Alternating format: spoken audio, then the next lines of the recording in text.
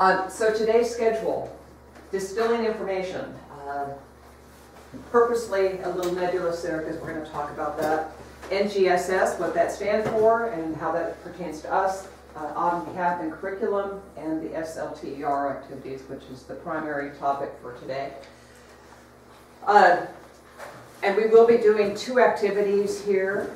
We will be doing the plant ID activity. That's what Haley's, it's already started. That's what Haley's madly running around trying to put together. And we are gonna go out and we're gonna do the effects of fire on the prairie or the Hulbert plots activity, at least part of it. We can't do the whole thing because there's just simply not enough plants growing for us to count because it is a, it's counting growing plants. And if you don't have any plants out there growing, there's not just a whole lot to count. But we will go and walk through at least the, the concept so you have an idea. Keeping in mind that no one leads an activity until they've really gone with somebody else and observed it. Okay? You're, you're, no one's ever going to be in charge of an activity until they feel, except for Jeff. Curly Jeff got put in charge of an activity. Until you feel comfortable doing it. Okay. Uh, so quite one, distilling information. You've gotten quite a bit of information over the last two days on climate change and on fire, fire ecology. And it, it, it literally woke me up at about one o'clock and I tossed and turned and thought about it. And it's like, you know, about 80 to 90% of the information that you got is not going to be information that you give to the children. Those, those were two days of of adult education rather than education or guidelines on, on what you would give to visiting school groups. Since we're here to address visiting school groups, you need to understand what information to give to the children. So on climate change,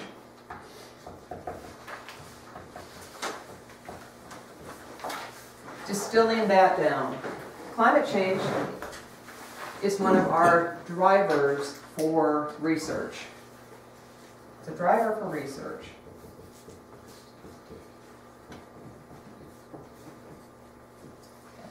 And we're seeing this manifested as different experiments that address drought. Because with the with higher energy, more heat in the atmosphere is increasing the amount of transpiration.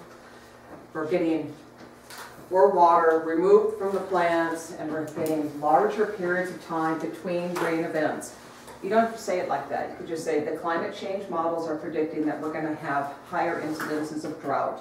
And so a lot of our research is looking, is simulating drought and seeing how the prairie responds to that. Why are we doing this here? Well, that comes back to the fact that 96% of the original tallgrass prairie is gone. So there's not a whole lot of tall grass prairie left to do research on. There is one biological station present in a tall grass prairie. Guess where it is? Yeah. It's here. So if, if, if any ecologist wants to know how climate change affects the tall grass prairie, that research needs to be done here. Okay, so that's, that's the point that we drive home. Okay, driver for research, looking at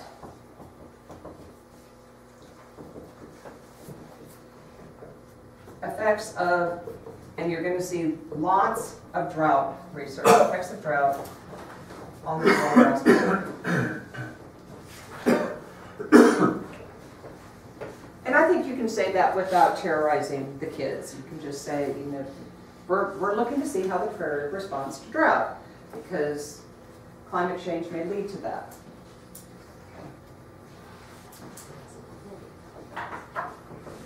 So fire, couple of distillation points for fire.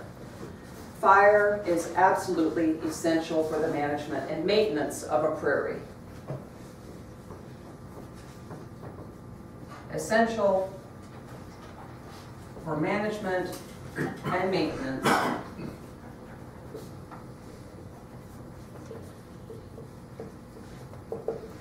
of a prairie. Sometimes you just have to cut it down to the point. How often do we need to burn? That's a very common question. Okay. You need to burn at least every three years.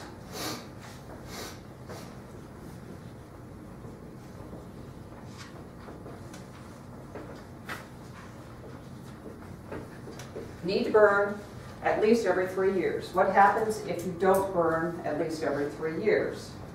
The wood Trees. stuff. Woody plant. Okay. To keep Woody's from establishing. Side note on that. Woody's. You can use that up until the first semester of sixth grade. Yes. Second, I'm absolutely Wood- Yes. serious. Yeah, yeah. Second semester, sixth grade on, if you use the word woodies, they're gonna start, they're gonna start giggling. Yes. Do you, do you need me to tell you why? No. No. Oh, no, of course not. Okay.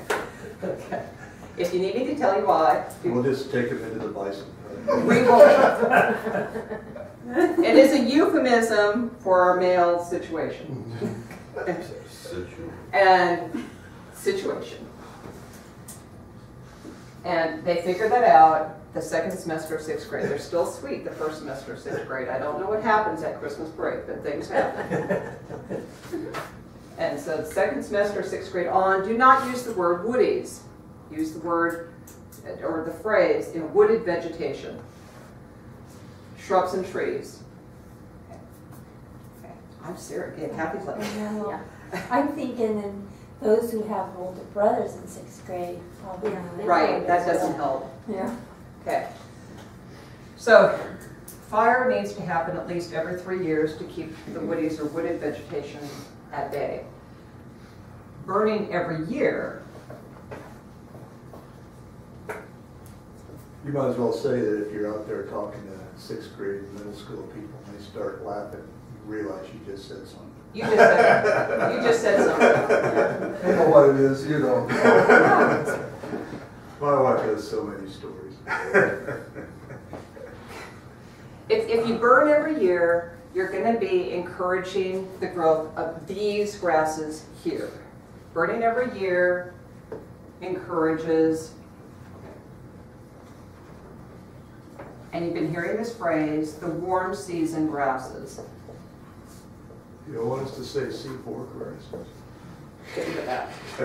Don't want to say what. I did it, he's jumping ahead on me. Yeah. Okay, warm season grasses are these grasses in the corner. They are big blue stem.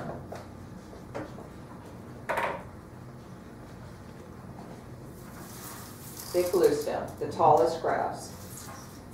They are Mm, switchgrass. that's so pretty.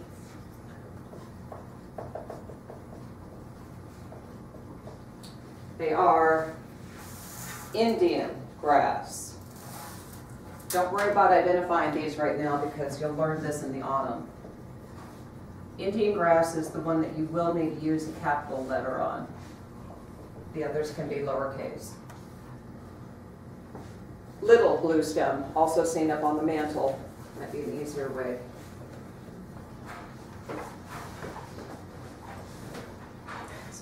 And then number five, side oats grama.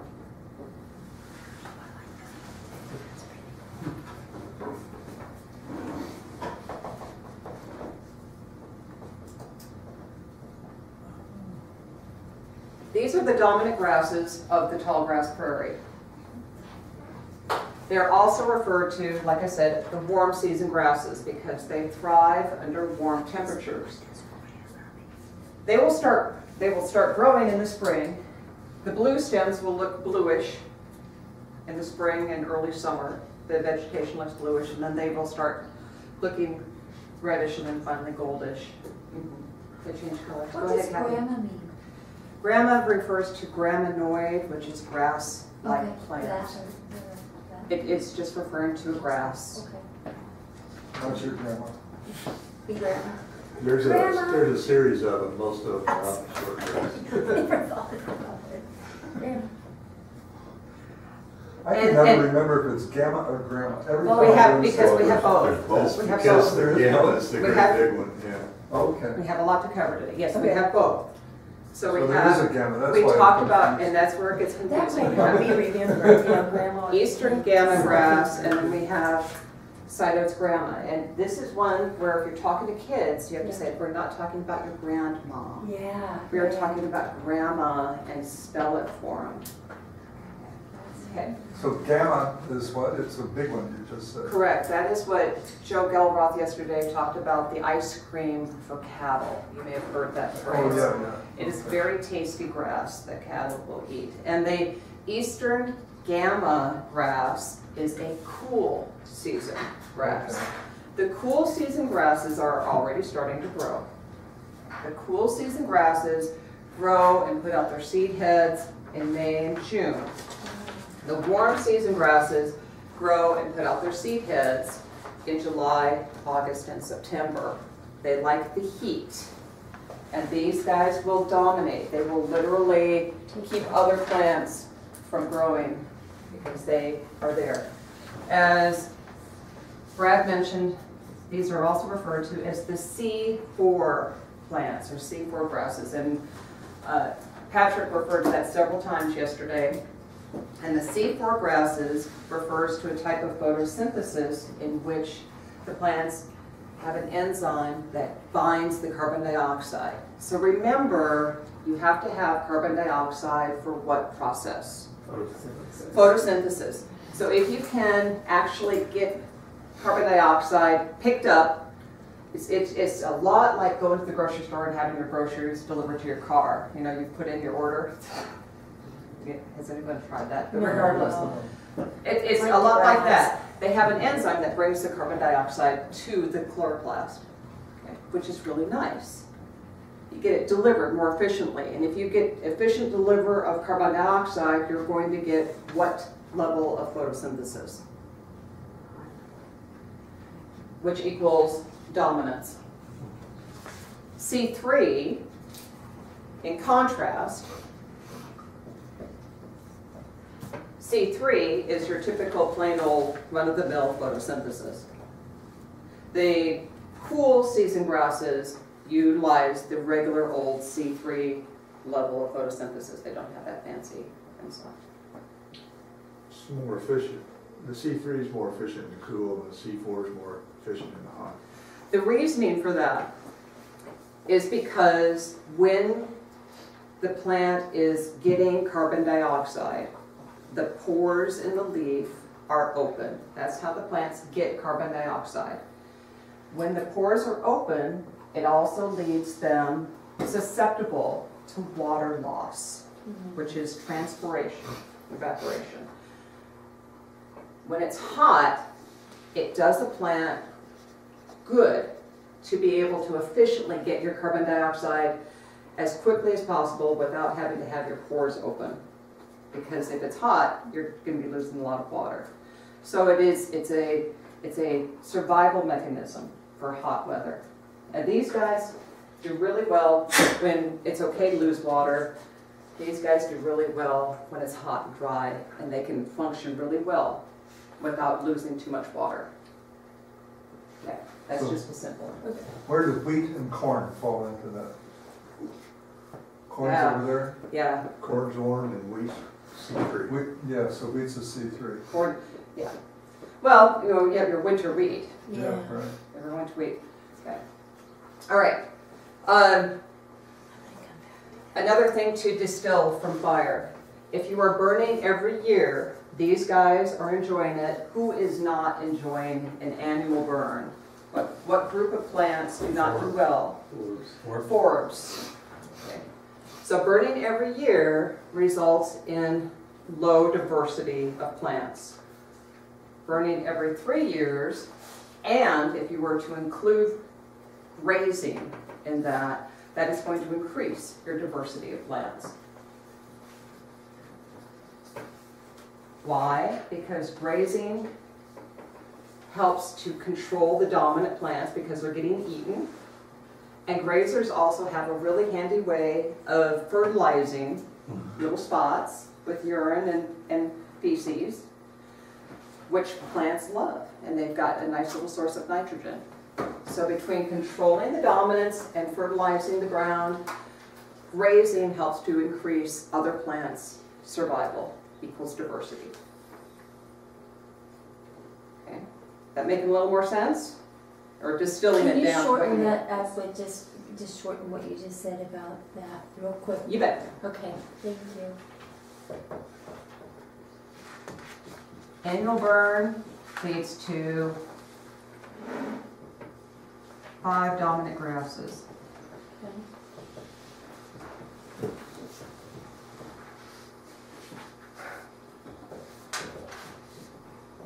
Biennial or three-year burn, either one, I'm not saying that they're interchangeable, but either one is gonna lead to more forbs, Okay, okay? Biennial or three-year burn plus grazing is gonna lead to even more forbs and more overall plant diversity. If you're talking to kids, Yeah. you are gonna need to explain what diversity means. And you can use that in the way of, uh, like race diversity. Yeah, or what you look like. Because that's where they've heard the word before. Yeah. That's where they've heard the word before. So put it in context of what, what's familiar to them. And that's really for anything. Put it in context with what's familiar to them.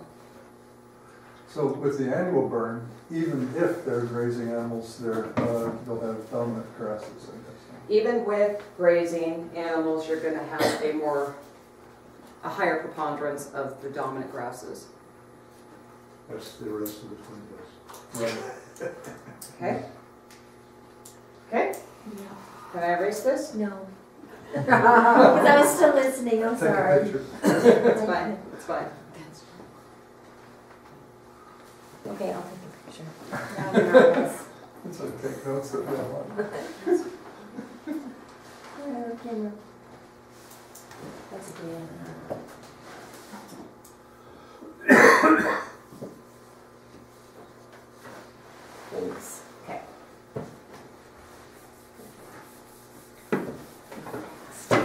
And there's no way to keep woodies from establishing. Burning every year will keep woodies from establishing, Right. but it comes at a trade-off to plant diversity. I was making a joke. Oh, sorry. Was that a, was that a rage band It was too early in the It morning. was too early. Oh, Oh. oh. Sixth grade humor. Junior high school. humor. I am not editing that out. That's, that's. that's- Wait, you're gonna be the highlight of the video reel. You know it's on video. It's the back of your head, so Especially now I'm sort of sinking into the floor. so. That's all right, I'll edit that out.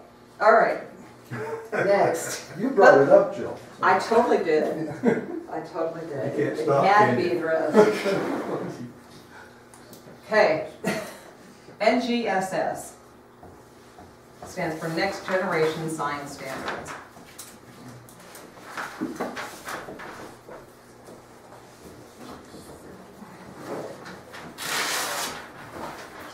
So, show of hands, who has heard of this before? I've heard of science standards, but not the next generation. Right, Okay, so you've heard of science standards, but not next generation science standards. So they simply are concepts that students are expected to be exposed to and to have mastery over for each grade. Makes sense. Could, could I add something to that? You are welcome to. They're beyond concepts, they're also skills. So it's important to realize that they're in the context of content and skills. Where's math teacher? So, so this, this affects us because Kansas is participating in the Next Generation Science Standards program and indeed helped to compose it. So you guys helped make those. Kansans did. Yeah. Kansans did. And so what we do is we looked at the next generation science standards, at the, the concepts and the skills, and we saw what things could be addressed, what standing standards could be addressed when students come to Konza Prairie and participate in different activities. Mm-hmm. So different activities offer different science standards. Can I ask, who created this and how does it relate to core curriculum, which or whatever that's had so much controversy? Do you want to address that, Brad? Okay, you're talking about the mathematics core curriculum versus this. This is the GSS, this is the science version of that. I thought core curriculum, uh, for, um, maybe I'm And not there was reading the right- also a separate part of the core that was on language. But the fact is, this is our version here. And if you actually get into GSS, you'll find it's much more complicated document than they ever had before. But One of the things it gets into is actually linking out to both math and the, uh, uh, language common core. Common Core is what I was searching for. Right, and it, it created a lot of controversy because, well, frankly, the, the math, com- uh, education community is way, way behind where the science community is, and, and they're still tugging at each other. So what happens is they develop this great curriculum, but they didn't develop enough professional development for people to be able to deliver it. And what it amounts to is students finding their way in math, and so they find a number of different solutions to the same problem. It's driving parents crazy because the kids are, are, are being told this is how you do addition, and the parent said, that's not how you do addition, that's not how I learned to do it. And so, uh, it's, it's a great deal, but it's, I think that's gonna be a more of a problem. This one's still sticking around, but I do want you to understand that it's, it's about student products. So if the stuff that you do out here is something they could take back, that, you know, that'd be cool, or something they could produce back at their school, which I think this That's my next is going to really play into really well. Okay, so it really helps the teachers to know what concepts, what experiences, what, what activities, what knowledge the students are gonna be exposed to. And so we have all of those outlined for each activity and they're available on our website. So do, the teachers can go on and say, if you're gonna do, um, the stream chemistry, these are the next generation science standards, and in fact, it's in your binder for stream chemistry. But the nature trail, the nature trail can offer just about all of the science standards, depending on how the guide addresses them. And that's what these are. The experienced docents already have these. These are the science standards that can, that can be addressed on the nature trail for each grade. So each grade, so it's color coded. So this is kindergarten, first grade, second grade, third grade, on and on. And then the middle schoolers are silver and the high schoolers got gold. Mm-hmm. Okay. So you're primarily staying within the life science standards? or Not you moving necessarily. Good, okay, that's what Not wondered. necessarily. I wondered. Yep. So for example, and you guys will get these, Okay. okay? And they Fit in your pocket. fit in your Oh, You're pocket, so smart to do mm-hmm. that. Mm-hmm. okay? Definitely. Laminated, fit in your pocket. So for example, what did you teach Kathy? Fifth? What? Um, here in Manhattan, fourth. Okay, fourth grade science standards. Plants have internal and external structures that help them survive. Talk about roots, stems, and leaves. Then talk about thorns, spines, prickles, tendrils, and flowers. Animals have specific anatomy that helps them survive. How are mammals different from birds and reptiles? What does each group possess that aids them in their survival? Animals can see, hear, taste, smell, and touch. Find evidence of animals responding to their environment. Note how erosion has shaped the Flint Hills. Find evidence of erosion and or fossils that indicate changes over large stretches of time. Find evidence of different kinds of erosion, wind, water, and ice. How does erosion affect different kinds of life? And would you care as a manager of the prairie, or would you, Because a lot of them are going in with the idea that we just love bison, they're so cool. And they, they think that the bison are, once they're here, they're here forever, having a happy little life out on the prairie. They're happy for a while. It's like a zoo for them. They- Yeah. Yeah. Yeah, so why, why, why not? This is the first time they've ever been, probably been to a place that's managed quite like this. You won't tell them we cold and all that. Sure, Yeah. Yeah. sure. But I I think that's a great opportunity to talk about research. You know, what does it mean when we say this is the research station? And that, that harkens back to the idea that there's more than one way to skin a cat.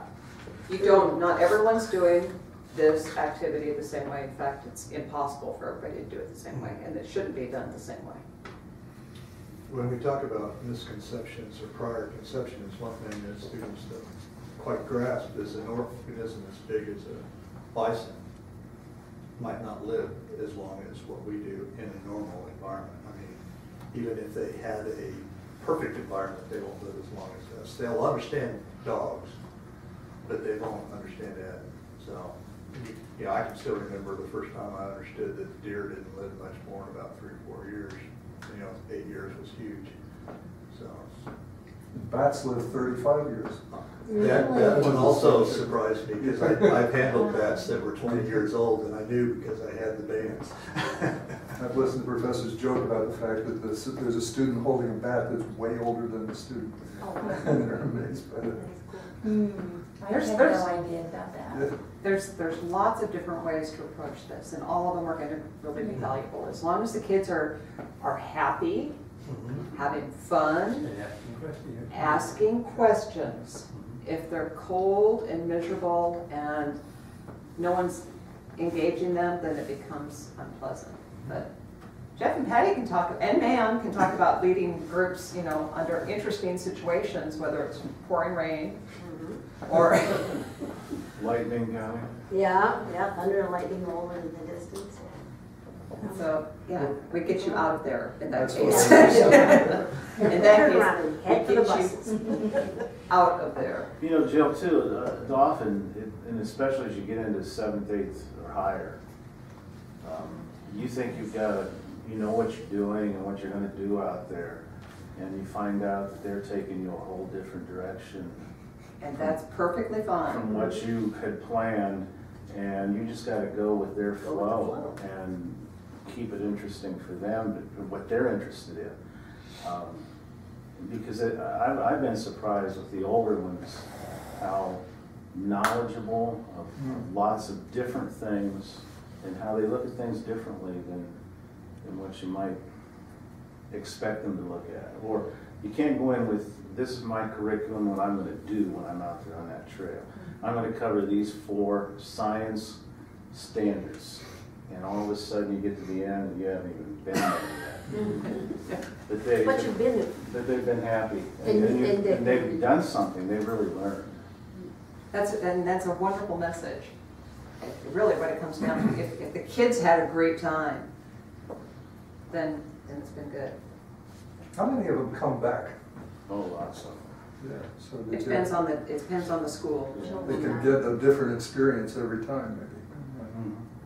And one thing that I really encourage the teachers to do, if we can, is to have them come out during different seasons, so they can see how the prairie changes. Yeah. So if they could come out in the spring, and then come out again in the autumn, and then that's a whole different lesson. Mm-hmm. You know, How is it different from what you remembered the first time? What's changed?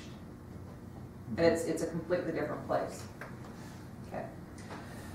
All right, any other questions about next generation science standards? Uh, You will all be receiving a set of these to have with you.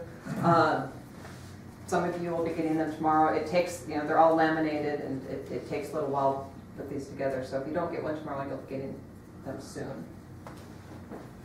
Next.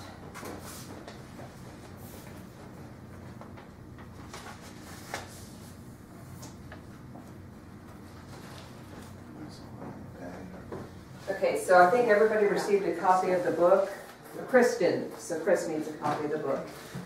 So, and we didn't really get a chance to talk about this because you just came in after the Bison Loop and saw that you had a book and like, oh, isn't that nice? Well, the, the book is, is intended to tie children into science.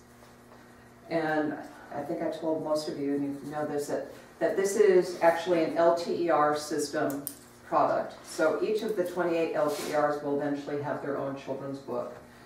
And with the same intention, to have a compelling story that revolves around the, the site to draw kids into the science. And what we were hoping to do, and this is geared toward a fourth grade audience, and fourth graders that come here get a book. They get a free book. Wow. Mm-hmm. The National Science Foundation supplied me with 2,000 books. So I have 2,000 books stored here, and I would love for them to not be here. So we give them to the, to the schools. And this becomes way more valuable to the students if there's some type of curriculum that's built around this. And so I'm gonna need your help in developing curriculum. Now, I've got some, if you guys are amenable to it, I've got some things already available online. Let me show you where they are. Jill, I remember you saying kind of in passing one time that fourth grade is the right age to target. uh, Fourth grade is a wonderful age. So why do you say that? They do not have preconceived notions and opinions about things. They have not, they've not settled into a certain thought. And so they, they're still, they're, they're sweet, Open they're innocent, they're open, and they're, They're curious, they They're very haven't, the, they haven't switched to the social side of the world, and they're still curious about the real world. And the other thing is, they're in a transition zone between primary grades and upper grades. And so a lot of the curriculum in fourth grade used to be kind of a introduction into the upper grades and a kind of a review of what you were doing below. And so it- my, my wife loved fourth grade, she thought it was the coolest grade of all to teach. I spent twenty-five of my thirty-five years with go. those wonderful little people. Yeah, Fourth graders. Fourth graders fourth graders. They, they are absolutely delightful. they love the world. They do, and they, and they still love that adult person who's willing to, to help them discover. but they're old enough. They're old enough To to tie their shoes and blow their nose and zip their zippers and Yeah. do all those things that, and read. And they soak things up. That's so it, that's the key, they can They read to read. learn, they're not still learning So it's, to it's read like, it's like, this- it's It's like the middle of the tennis wonderful racket, you know, that's the sweet spot, and they, they're good. They love it, they love this information, thank you, Haley. So, over on the right-hand side, if you can see that, it says teachers, libraries, and schools get a free copy of the Autumn Calf. Update curricula is now available for the Autumn Calf. Have you ever wondered what a bison weighs? So we have some worksheets that can be done in the classroom using real data. So here's some questions. First, there's a, a background of the bison, um, saying that they roam all over Konza Prairie. Out here on the prairie, bison calves are usually born in the spring in April or May and are fed their mother's milk until they start eating grass at around six months of age. Yeah, so there's some information. The bison at Konza Prairie have large open pasture of 2,500 acres. They feed on grass and other prairie plants and are not fed extra grass or hay, not even in the winter. Every year, at the end of October, the bison at Konza Prairie are rounded up and weighed on a special scale. The weight of the bison calves can give scientists some information. So, during what month of the year do most of the bison calves start to eat grass for the first time? Six months. So go, six months of age, right? Marco? So May, June, July, August, September, October. Okay. How much time do no- new bison calves have to eat grass before they're weighed in October? Not much. Not much. Maybe a month. Mm-hmm. Who do you think would weigh more? A bison cow, an adult female, or a bison bull, an adult male? So that, that gets them thinking and guessing. And I'm, I'm insinuating that there's a difference, right? Mm-hmm. So that might be new. They might be thinking, oh, there's a difference. And, and the, the males weigh more. Do you think all the bison calves weigh the same in October? So there's another concept. They might think, oh, they all, they all weigh the same, they're the same age, right? No, they're not. And in general, the, the female calves weigh less than the male calves. So find the weight for the lightest calf. So there's some data, Mm. and this is actual data with their ear tags. Those are connected to their mothers? Are those calves? Those are their, their, their ear tags. Right, but do you know who their mother was in that? Jeff would know. Jeff. I know, I didn't know if you put it in the chart. I don't know, yeah. No, in your table, I didn't know if you put it in your table. No, Okay. don't, don't know who their mother is. Okay. The fourth graders should be able to average the weight. There it is, yep, mm-hmm. okay. So find the weight of the lightest calf, now find the weight for the heaviest calf, what's the difference between their weights? There we go. It's gonna beat them. Why, why do you think there's so much variation in calf weights? This is good stuff, Jill. Very good. Think about the kinds of things that would make a calf weigh less.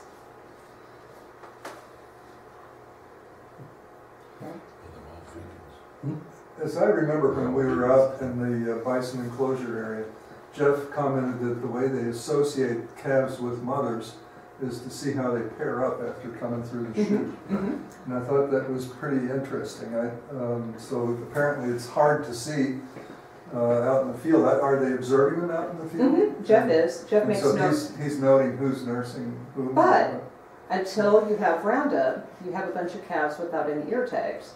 So you have no way to identify them until they've Right. gone through their first Roundup. Okay. Then you can put a nut, you can put a face, or a name to a face, basically. So here's an explanation. I don't know. Jeff was such a bison whisperer, I think he can probably Ah. recognize. I don't think he needs any ear tags. So here's the ear tags. So we have some other activities.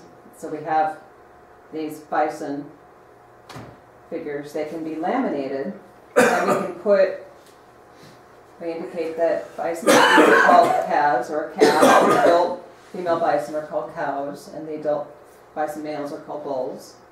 Mm. Bison weight ranges. Calf weighs between 150 to 380 pounds. A cow, notice, look at that. A big calf is about the same weight as a small cow. A cow weighs between 400 to 1100 pounds and bulls from 1200 to 2000 pounds. Make photocopies of the bison outlines. Write one of the provided bison weights in the center of each. Pass them out to your students. So each, each kid gets a bison with a, with a weight on it. Okay. Each kid gets their bison and you ask them, do you think your mm-hmm. bison that you have is a calf? Or is it a cow? Or is it a bull? Good. Okay? Mm-hmm. Which weights do you think are calves, cows, or bulls? Have the students stand up and put their bison in order, so have the kids get in order by the weights of their bison that they're holding. We don't do this, do we? I think you should. No, this is for in class. This is in their classroom. in their classroom. So the lowest weight is on the left side and the highest weight is on the right side. Then ask them, is it surprising how different the weights are in a herd? Is there difference between the smallest calf's weight and the largest bull, or what is the difference mm-hmm. between the smallest calf's and the largest bull's weight? Is it surprising how widely different the weights can be in one species? More challenging, have the students refer to their bison, give them a table of bison weights, and ask them to find their bison to determine the gender, aha, and then their bison's ear tag number and their bison's age. Mm-hmm. So if you've got, you're going up here, mm-hmm. you got 360 pounds, who do you have? Male calves. How old is your male calf now?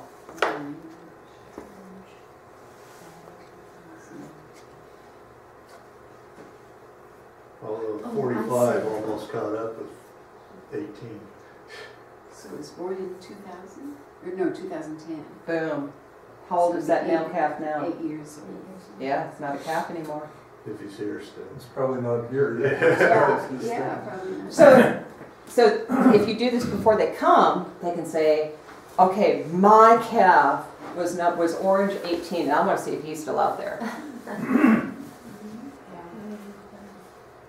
Because these are all real animals.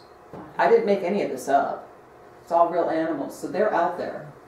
And they can look for them. But I can tell you that, um, these guys are, they're all gone. I think all of our bowls are orange now. Hmm. How new is this out there now, Jill? When does, the teachers are actually using this now? It is available, Okay. and so I need to find ways to get it to them other than just putting it up here on the website. Mm-hmm. Have you had Oh, I, some, I have you had think some that's use a it yet? perfect way. I, I've never seen anybody use it. Pardon me? Have you had anybody use it yet, that you know? I have sent it to people. I physically printed it out and sent it to people, but I don't know if they've used it and I've gotten it, I haven't gotten any feedback. So you haven't done any pre or post assessment on whether or not? Not on this. Did you have plans to do that? Well, this is one thing that, that I'm, here we go. One thing that I want to do is I want to develop an entire curriculum kit with more than just this. Mm-hmm. With things that address like the flowers and phenology. Well, and data nuggets certainly. Um, but the development of a curriculum kit that could be used anywhere in the world, not just, I mean, Here. what you've got there is something similar to this at a fourth grade It's very much. yeah, yeah. But just getting it out there. And then assessing it to see if it's, if worthwhile for fourth grade. Mm-hmm. How do you make teachers aware that this opportunity exists?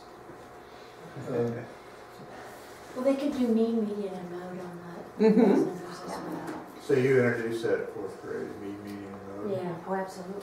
So- And box plots maybe? You start those yet, or, or scatter plots, or any kind of graphing? Oh, yeah, lots of graph. Right. And it said there was plots, an maybe. activity in there to, uh, what, there was an, a graph activity that came along in Mhm. your thing that was a.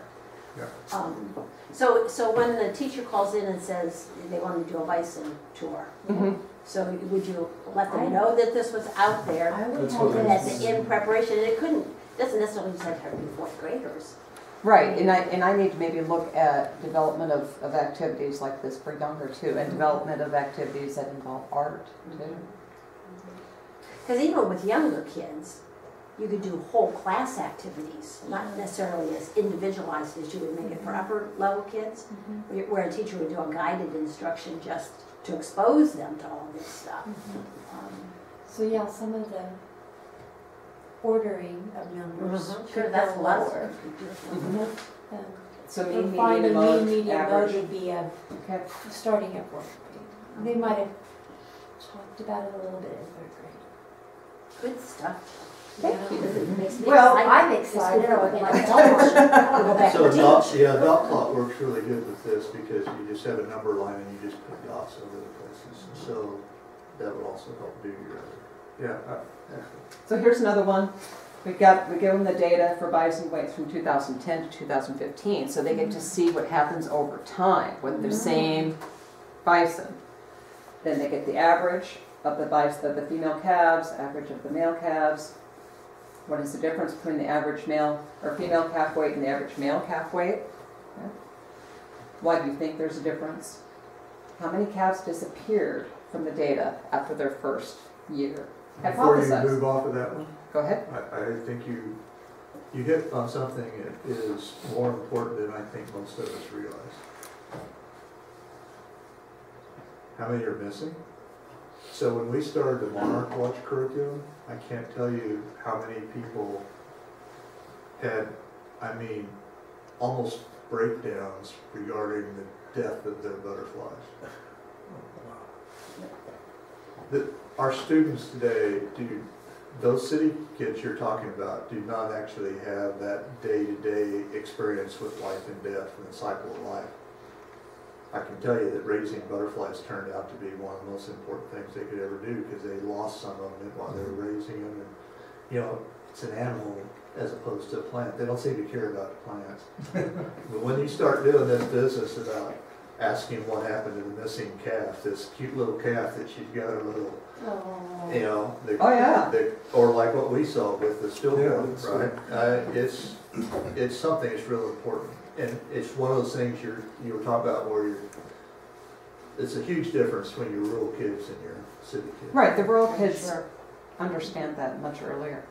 And there's more than one reason for why a calf would disappear from the mm-hmm. data, and this, mm-hmm. this gets a discussion started. Mm-hmm. And, and Jeff insinuated this, but I don't know if you caught it. Okay, so you're thinking immediately death, right? Well, sometimes they hide and they don't come in. And then they suddenly show up the year after that.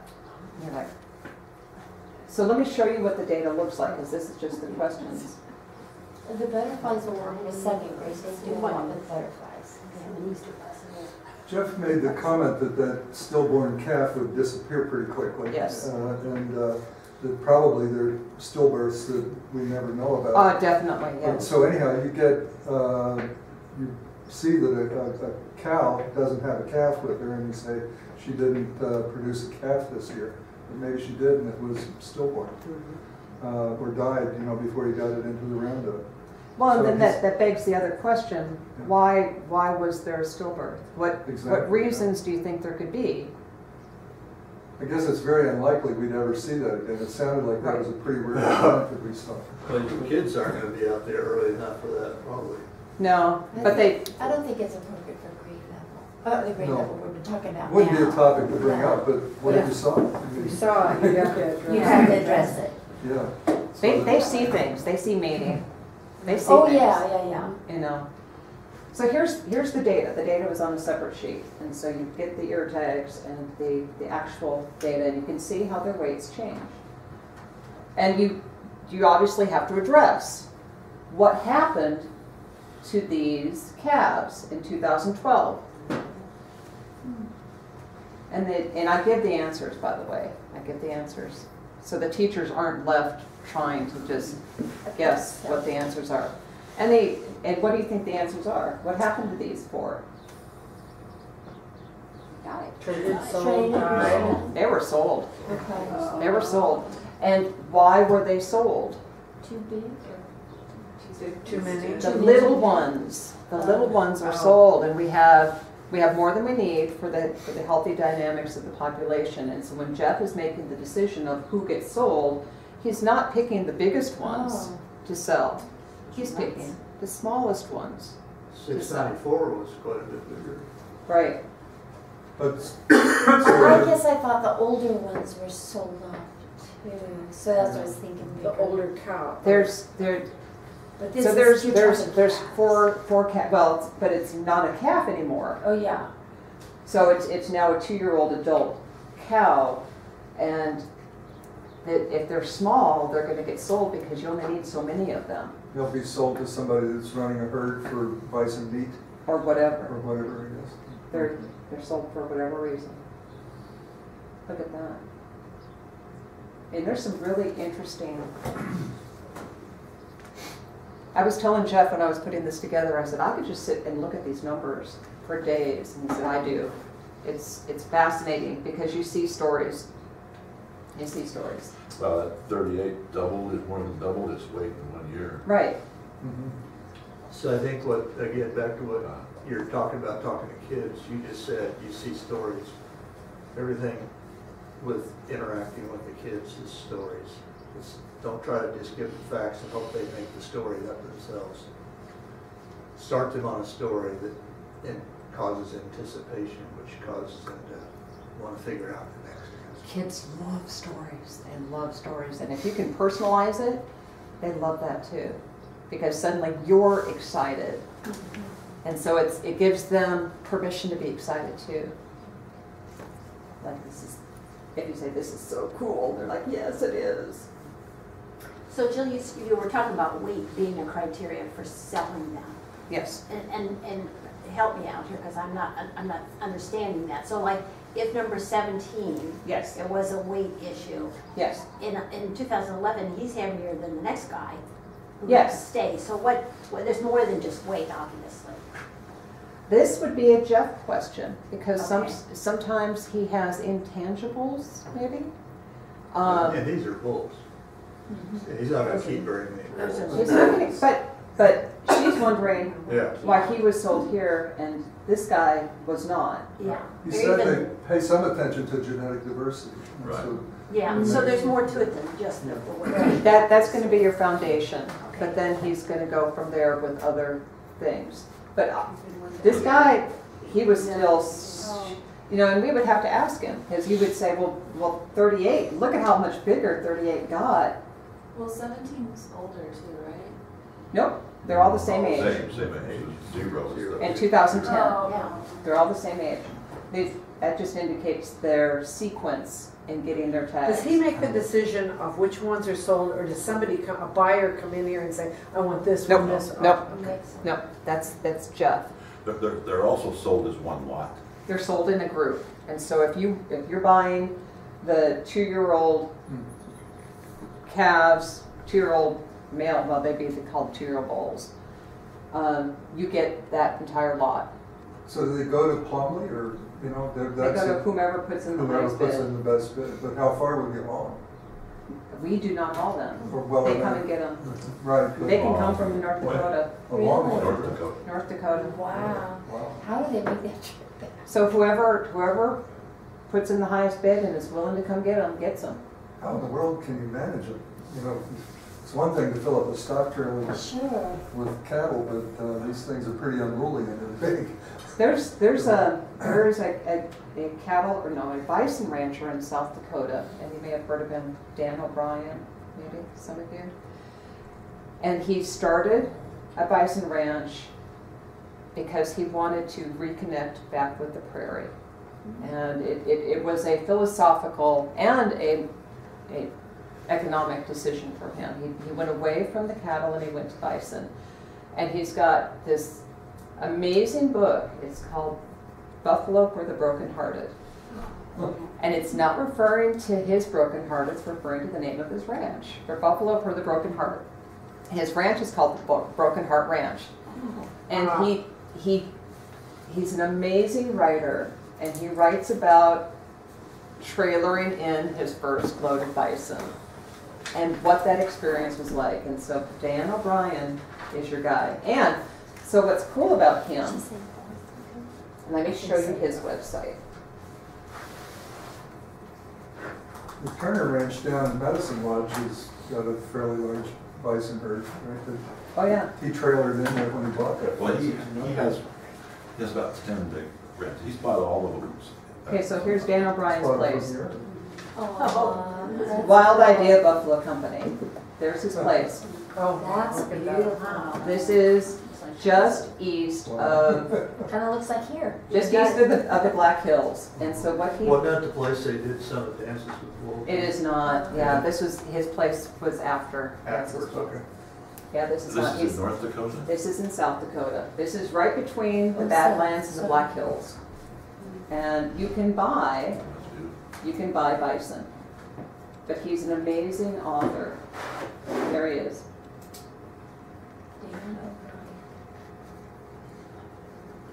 I've dedicated my life to preserving and restoring the Great Plain grasslands. Do they break it burn up it or there? faking it, I can't see it. Do they burn up there? Buffalo He Ranch does. is called a Never. beautiful that. This, right?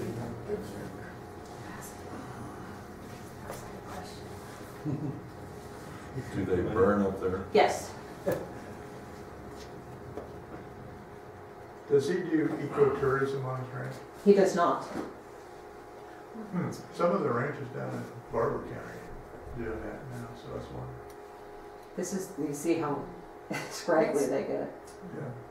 Yeah.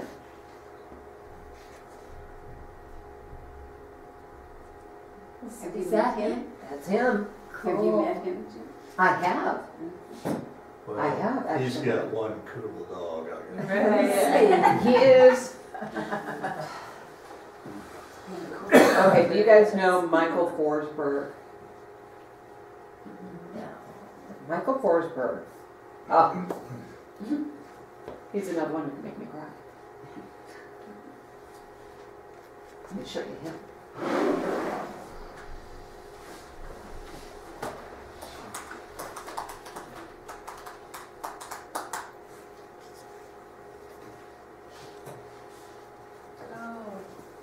These two are friends, and they collaborated on a book.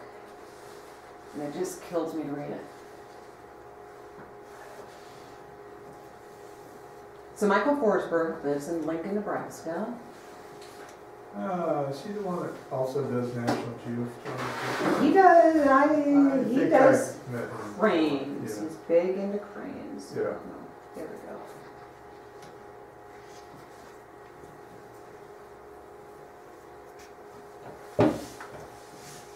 And there we go. Oh, that's pretty. Burrowing. Burrowing I've seen that picture. That picture is down in the Ad Astra Cafe, Strong City. Yep. So this, this is, he has this place. This is Michael Forsberg is a photographer. Oh, that's, See, that, that could be here on our group here. Yes, and he has come here and he has photographed him. I've got a Michael Forsberg photo in my office. And he's another friend. But these two collaborated on a book on the Great Plains and it's just Oh, wow. devastating. Hmm. What's that book called? The Great Plains, let me show you.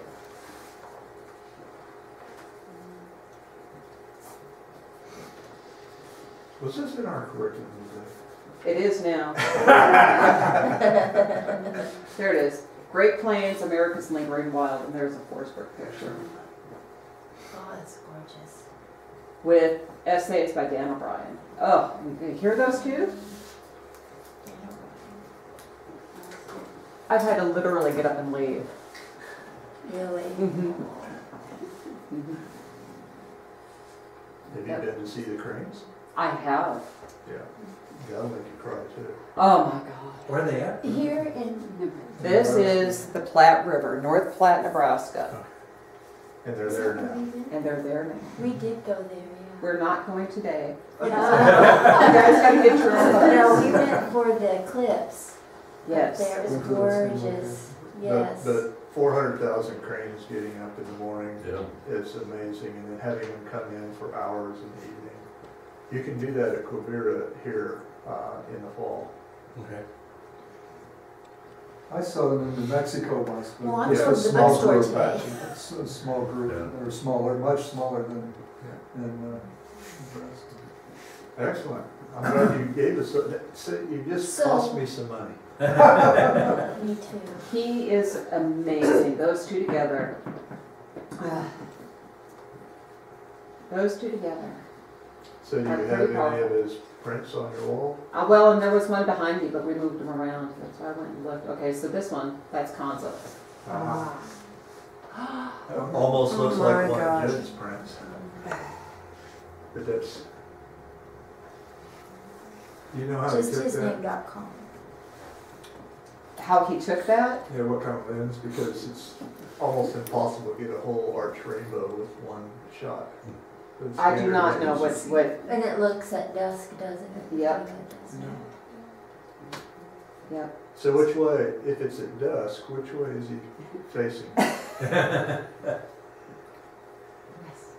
East, he's East. facing Oh, east. okay, so he's, oh, it got the light But on you, it, this yeah. is, we've got some on Butterfly Hill like that during, Boy, that. During the June watch, we've had some storms. The reason is, is the rainbow, is the sun is always yes. behind you on a rainbow. Do you wanna go to the bookstore There's today? nice.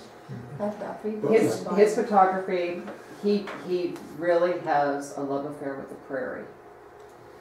And in Lincoln, he can pop down here or pop up to the Mhm. Niobrara. Ooh, I like the black and white. You like the too. black and white?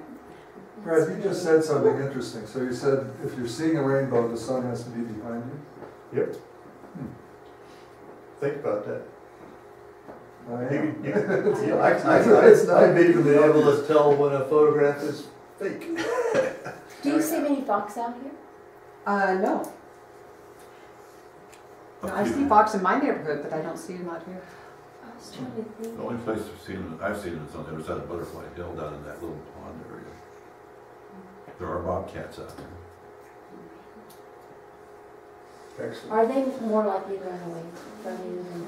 I like That those is a way. pictures so much. Okay. That one right there just drives me nuts. This, his, his wife is the photographer, and, um, we This- have a this lot in one, common. This, this is, This looks like the cave, where's that place? The, the one that's not burned very much here in Oh, yeah, K. Oh, K one B Kansas. is Where burned she every wants year. to- Yeah, so, I mean, of it the looks a K one little, B, Was- Yep. Makes, eh, like that one right there makes. So, so read Buffalo for the Broken Heart, and Okay. you will then understand what it takes. You know, that's the only reason I do the lottery, by the way. We all need to. We all need to. I would buy my, I'd, I'd be Dan O'Brien's neighbor and live happily ever after. There's so many small towns in Kansas that are kind of ghost towns anymore, and I keep thinking, buy one of those up and do what you want with it. Well, be careful about that. Wes Jackson got to do that with Matfield Green. It didn't work out quite so good. Oh. So if you, if you want bison, What did you say? Worked for a while. You know, Wes there's so many Jackson. little ghost There's, towns. there's a lot of people that know more about it than I do. I just know the west side of it. Uh, You just kind of want to get away from your area, you could just go buy one of those towns and then you could Oh. level it out and bring it. Well. He was getting a lot of press for living off the, having people live off the grid at Matfield Green. I don't know much. People still live there. It's, it's, it's kind of back on the grid as far, as far as Kansas is concerned. now you guys made me cry. It's a beautiful. place. No, you did it all by yourself.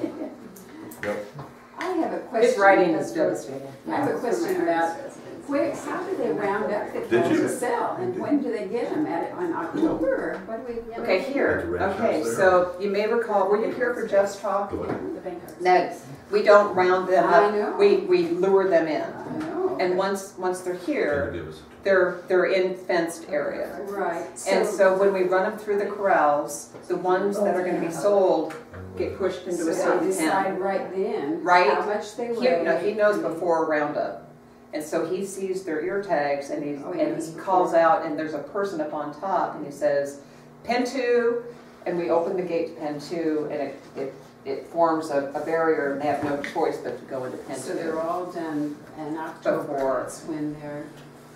right. I can see how you might lure them in the first time, but the experienced ones, why do they come in the second time? Go back to the data and you're gonna see that some of the bulls Yeah. didn't That's come in smart. one year, but then Yeah. came in the next year because they were sneaky and they, they figure it out and they go I hide. said, the heck with that, I don't want that candy. They- It's not worth it, yeah, Yeah. yeah, Chris? I was wondering, like, how many of the bison from here would go to Kansas ranches? Like, I know that Istone Ranch near here has bison and Dillinger's at Wamego. and Are those Plumley kind over. of farms, and Plumley, of course, Yeah. or, you know, I wondered, so it made me wonder how many bison ranches there are in Kansas and then how much of the, the cattle or the bison that are sold from here go to Kansas and how many, you know, would it mostly be other states? or- Whoever, whoever is putting in the highest bid. Mhm. Ed Dillinger's my neighbor. Oh, great. But there must be a record, it would be interesting to know. Yeah, and that's, that, that's a Jeff question. Okay. But, but he is not reserving anything for Yeah. any certain group, it's just whoever puts in the In- highest bid. Interestingly, in uh, Tompkins County, New York, which is Ithaca in Finger Lakes, the guy decided to put bison in his pasture, and it's because, and it's right next to a public trail. Oh. So it's like tourist heaven. I mean, everybody parks and they gotta go see bison. I can't get over how, how much it hits them, hitting, seeing these bison. They just, they just go crazy. If you lead Back bison east. loop tours, Yeah, it's, you know, and Ken can attest to this, he's leading tours at Maxwell too. He's Yeah. Mr. Bison Man. yeah. The, the bison means so much to so many people. I've had, had a woman last summer from Great Britain who was on BBC all the time and has done, done stuff all over Africa, but she had never seen bison. I took her out here and, not here, but the other place, but uh, amazing the, the feeling. And then, and the, the two ladies from, uh, US Fish and Game that came out from Virginia that I took out, Mhm. they almost, they did cry, we put them right in the middle of the herd and they said, we had no idea you could ever get this close. We were, they were just anticipating seeing them off half mile or something. Yeah. Yeah. So it can be a very emotional experience It, for them. it is, it is. It- It's something they've read about all their lives. Especially if you get out there and two bulls are going in it. It's Yeah. very cool to see that. Oh my gosh. How That- That's amazing. You know, for years as docents, you know, we, we knew about how they round them up with the red truck and the horn and the treats.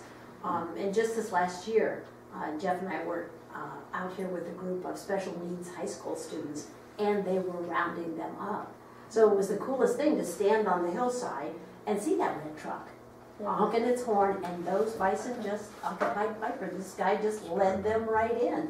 Um, so it was neat to see, and the kids, you know, to be able to talk to the kids about it and get down close to the corral where they're actually, you know, um, running Running. in, to see. That's bison cool. run Yeah. and feel that. Uh, It's quite the One of experience. the, one of the coolest things I've ever seen with bison is watching them swim across the Yellowstone River. That would be cool. That would be Yeah. cool. The whole herd, watching the calves that can't get up the bank, and the whole herd's going on, it's just. They're, they're neat, they're neat. So, back to the book. You guys, That's cool. back to the book, it's cool stuff. So, Yes, that looked like- one thing that, that I am planning on doing, remember we have an LTER network. We all get together every three years, it's called the All Scientists Meeting at Santa Barbara, and I'm gonna give a workshop on how to develop curriculum for book. And I would like your two help with, if you don't mind, to help me develop that, that workshop for them. Well, I'm even gonna take you beyond that, I'll bring, get my wife involved. I would love that. She's done a lot of curriculum development for. I would love that. And then, and then, then imagine you now have the far-reaching effects across the entire network, which really would be not just the United mm-hmm. States, but cross-world. Hey, when you wrote this book, did you write with these uh, next generation science standards in mind? No, because the next generation science standards didn't exist when I wrote that. No, This is a true story.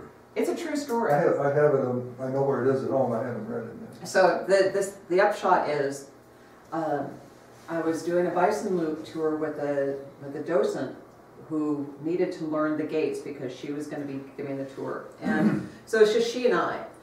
And we saw, and it was September, it was mid-September, and we saw an orange calf. And bison calves are orange when they're born, and they're orange for six weeks. Then their coat turns to brown. So this is mid-September, Mm. and we see an orange calf. Okay, when are bison calves typically born? April and May. Okay, so we have, we have an orange calf in September. So this tells me that it was probably born at the, at the earliest, in the late July, sometime in August. So it was a calf that was born in the autumn Oh. autumn calf. Now, the, the ramifications of that would be that this calf doesn't have very long before winter is gonna show up. Okay, so how long is it gonna nurse? For about six months. And then, after six months, so if we're thinking like August, when it was born, so August, September, October, November, December, January is when it comes off the milk and it needs to start grazing. Mm. On what? Yeah. It's the story of that little calf's life. Wow. Not gonna give the ending away. Okay. Did, did they figure out the mom on this one? Oh my goodness, yes, because the mom is very famous. Okay. The mom is a very famous cow who will come right up to your car and put- stick her head in your car looking for treats.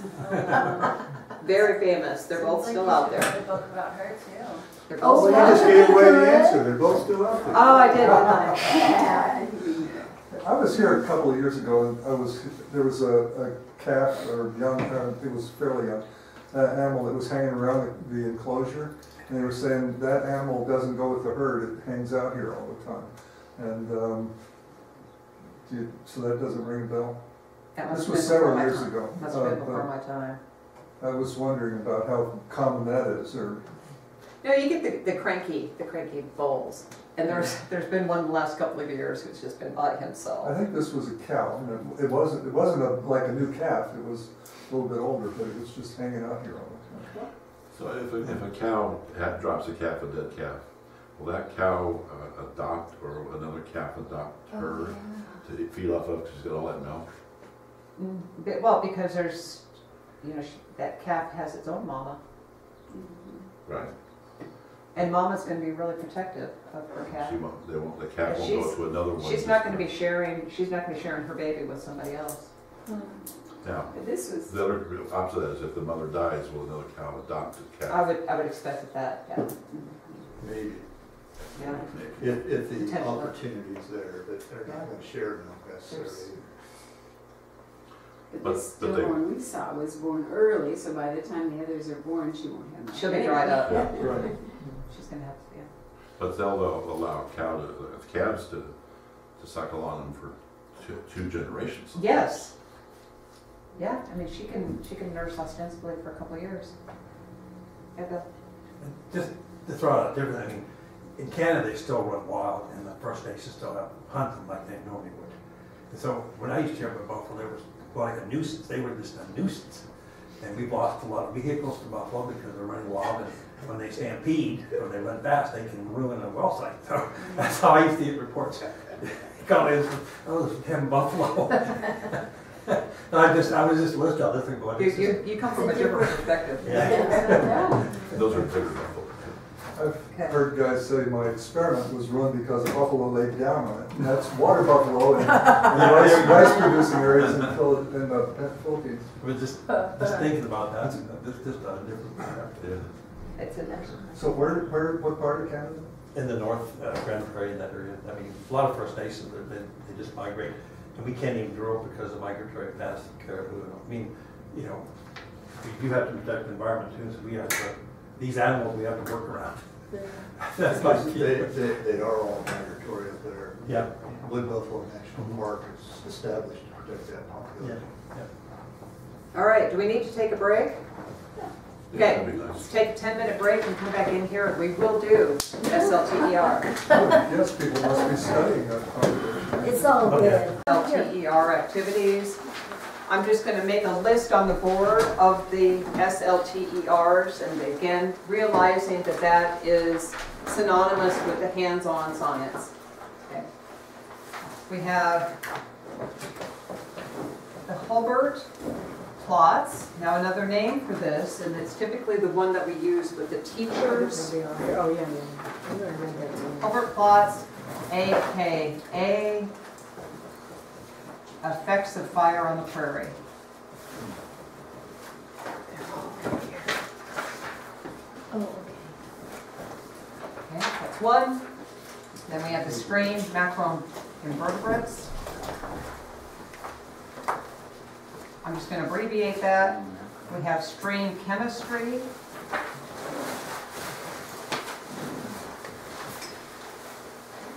Grasshoppers on the prairie.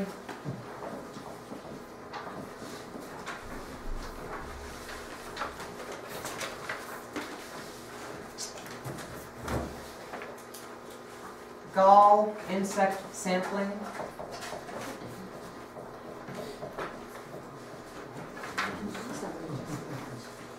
And then finally, the plant ID exercise.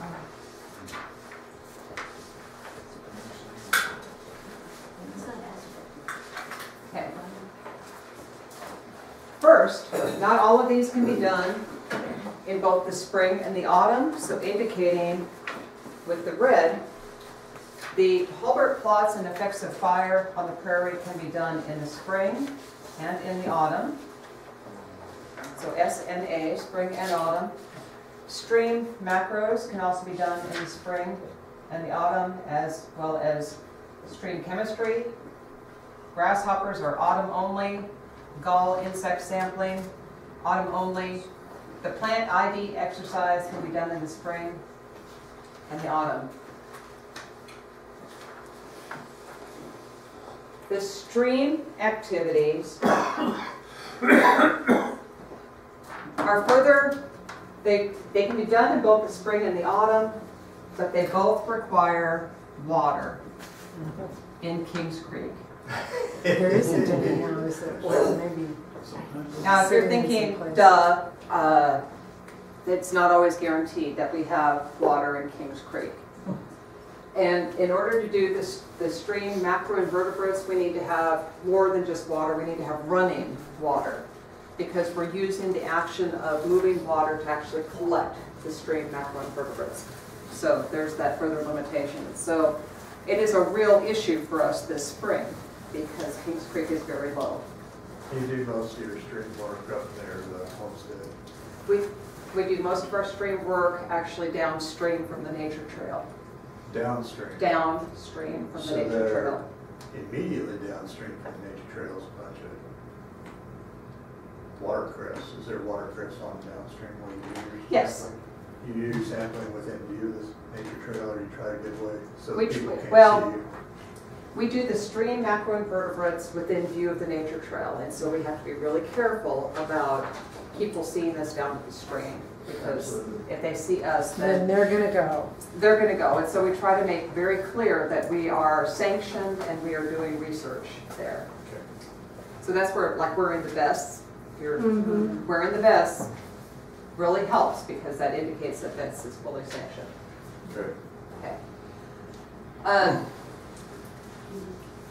So today, we're gonna be going over these two, the Hulbert plots and the plant ID exercise, because both of those can be done relatively soon. Um, For the schoolyard long-term ecological research, these activities are led by Haley and I. And then the docents are further utilized for smaller groups. So for the Hulbert plots,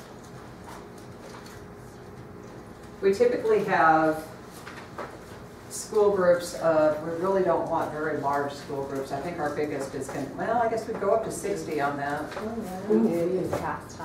Okay. And so, just making a note, for docent needs, the Hulbert plots, besides Haley and myself, we would need maybe, what, two or three docents Yeah, total? just depending on how many kids. The, the nice part about the Hulbert plots activity is that it doesn't need just a whole lot of interaction with, with other assistants. You can be there to help them answer questions, but it doesn't take a whole lot of interaction. The ones that use up a whole lot of docents are these stream activities. As, as I say, it chews up docents because it, we need a lot. So they're typically used together. If we are doing stream chemistry, we're also doing stream macroinvertebrates. Because we split the groups in half. We start off typically with a group of 45 kids, and we split them into a group of 23 and a group of 22. So split Do they stay all day for that and then? class in half. How long does it run? Is that like an all-day thing? It is in the morning. Well, so it's like an hour and a half. Between that team. So 9:30 to 11 and It has to be 15-ish. well choreographed. It is a dance. I'm not, I'm, it is a dance. Haley does the stream macros, I do the stream chemistry. With the stream macros, it is having kids work with, and you'll see this this autumn because we'll have you do it, samplers, Surber samplers, where the water's going through a net. And the kids are getting rocks and getting um, algae and material off the bottom side of the rocks to physically catch macroinvertebrates and pour them into a bucket. And so it takes a lot of one-on-one between Haley and the kids. Well, she can only do like maybe, what, five kids at a time? Yeah. And so there's 15 other kids, 15, 16, or 17 other kids that need to be otherwise distracted until they cycle through. And that's what the docents do, and that's one of the things that Patty does, is you, you basically do a stream explorer, which is a lot of fun. They get to just walk in the creek and go find stuff, okay? Um, And then she helps to deliver kids to Haley and then takes the other five and brings them back. So it takes, how many, you have, you and at least three others? Okay, You use one Surber sample? now we've got two. We've got two. And we really couldn't use more because there's not that many You don't have places. No. you don't have the bigger ripples. Right. For a limited area. So for the stream chemistry, that's me, and I break the groups down into groups of four, and there's one docent for each group of four. And they are given a Hach kit where they then work with the docent like Jeff to specifically test the water. So that's gonna take another five, because I've got five kid, kids, I take five docents. So within this, we've already used eight docents. Yeah. Good. Yeah, it, it, like I said, it chews them up. We got lots Choose of them up. Want to be wanted. And that's, that's just the morning. Okay, and then, and then we come back here and we get this, the stream macroinvertebrates out into trays and we have the kids identify them. So we need at least another two docents for the lab part. Oh, you don't identify them in the field? Nope, but bring it back here and use the dissecting scopes. Put them up on the screen. So you have uh, redundant uh, chemistry uh, recordings? Yes, yep, we sure do. And that's part of our data nuggets. And they not only identify the macros, but then they do some tallying and make a decision on whether or not we have a healthy. Right, because some of the species require, have high qu- water quality demands. And so if we've got certain species that are very demanding, if we've got a lot of them, that tells us that our stream is, is providing what they need, and we've got really healthy water. And so it becomes an assessment, Real science. real science. That's what I think is so cool about some of these, that real science. real science. Yep, and the kids are doing it. Mm-hmm. Grasshoppers on the prairie is another one that utilizes quite a few docents because, again, split in half. Split class in half. And I'm gonna go back here and say we need eight docents. And for the grasshoppers on the prairie, we are assessing the difference between the grasshopper species and the abundance of the species in the uplands versus the lowlands. And so I take the uplands, Haley takes the lowlands, and then we break the kids up in teams of two, give them each their own transect, which is a straight line to sample along, and they catch grasshoppers along their transect. And they, you utilize about two docents, mm-hmm. and I use two while we're collecting. And then they bring their grasshoppers back, and they've got them in kill jars. That's another one they need to realize, So it's for numbers. grasshoppers are not gonna survive this process. Well, uh, But the fact that identifying them. Identifying cases. That- These are really good. we have plenty, Chart them. we have plenty, and we're not impacting the population. Okay. So we bring them back here, and after lunch, we do a lab where we identify and count them, and they learn how to mount them. Um, So that's gonna be four docents in the morning, and then another two in the afternoon. And there might be some of the same docents, but six. You compile the data and do some kind of analysis of that? or- I, I have the data and I want to incorporate that into an online activity with it. But the, what we're hoping for is for this, putting the onus on the kids That's what to meant, enter yeah. their data That's what I meant. into the online Actually data entered system. Into your database. And this is what we're hoping to get today. Okay. It was supposed to be yesterday, but everyone got busy. But this is what we want, and for all of that data to be combined. Gall insect sampling, we don't do this one very often because the galls are hit and miss and because many of the teachers don't know about it that you guys do. And you realize what that one is. That one's easy. Why does that only happen in the autumn? What's that? Why does that only happen in the autumn? The, you can see the galls right now, but they're soon gonna be burned. Um, Oh. So, so we're gonna be looking for some fresh goldenrod with some fresh galls that aren't burned. Because what would happen is, I would have this place staked out and be ready to go, and it'd be burned, and I'd go out there the next day and Yeah. Plant ID exercise, this is what we're gonna do next. And the plant ID exercise has specific spring versions and autumn versions. So spring and autumn. In the spring, we do the wildflowers.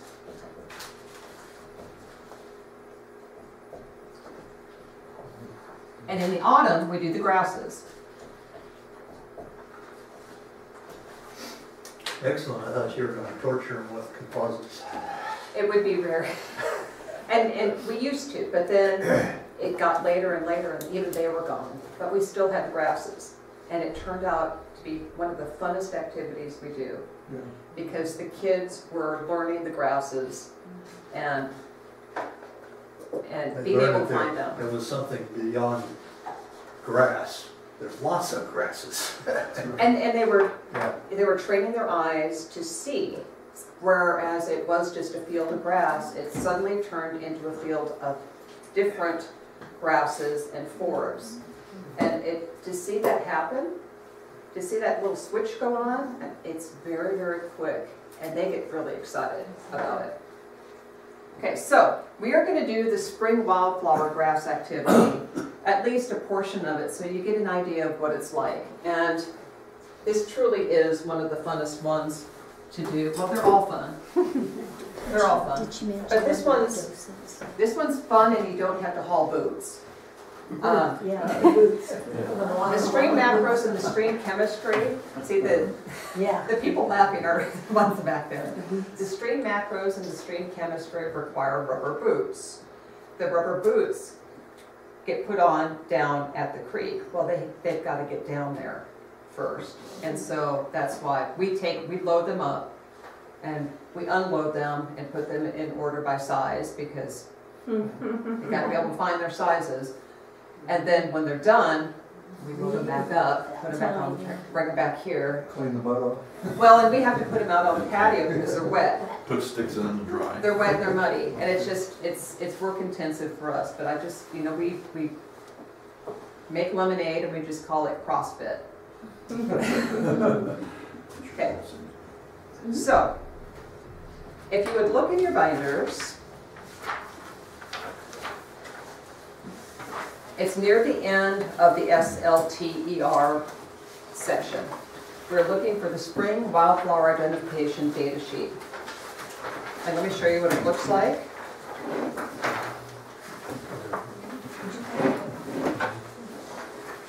It's changed again. It changes every time. Mine's already changed. It's already changed, yeah. So this, taken, this is one that was produced specifically for a school group that came on May 6th. So what you see are the flowers that were blooming at that time. And you see that they're listed, and then next to them, there's a blank space for uh, their scientific names. May sixth, two thousand six. Mine's not that. Go for it. Join up, you. And so what, what we'll do, is yours a little different? Mine says April thirteen Yeah. and That's- fourteen. We have thirteen, fourteen. Yeah, that's right. And I've Yeah. got That's May better. It's a smaller one, it includes death kennels. That's better. And fringe puccoon. But yours says. True. Mine says what she said. But I've got it's- this. Yeah. Pretty. I find it intriguing that we're calling it sedge and wildflower. That's good. It is I a just- flowering But plant is- and it's wild. Yeah, just a couple. True. Okay. It's not a grass. What's not the Sedges have What edges. is it? Is that just something? That's, Okay, so Oh, the specifics of this activity. For this, again, splitting a class in half, because again, this room is small. And so we'll have maybe 23 kids start in here, and I will give them a PowerPoint presentation of photos of the flowers. And I will give them the scientific names and talk about what, what these scientific names mean in Latin, the Latin root words. The other half will be out walking Butterfly Hill, and they will be led by docents, and they will be cutting these flowers. So the docents have the list, they find them, and they have each kid cut like two, two flowers, put them into a paper bag, and they talk about why they use paper and not plastic, because the, the plants would, would get soggy and rot in, pla- in plastic, and they need to dry. And so they're learning the, the flowers when they're out hiking. Then after, and I think this is about 45 minutes to an hour, there's some transition time, they switch places. So the kids that were in here now go out and hike and collect flowers. And what's interesting about that is they've seen the pictures, now they get to go out and they're identifying the flowers for the docents. Meanwhile, the kids that were hiked first came in here, they're now recognizing the flowers that they've seen up here, and they're learning the scientific names. So they're learning the phenology, and they're learning about scientific names. So let me just run through this, a couple of samples.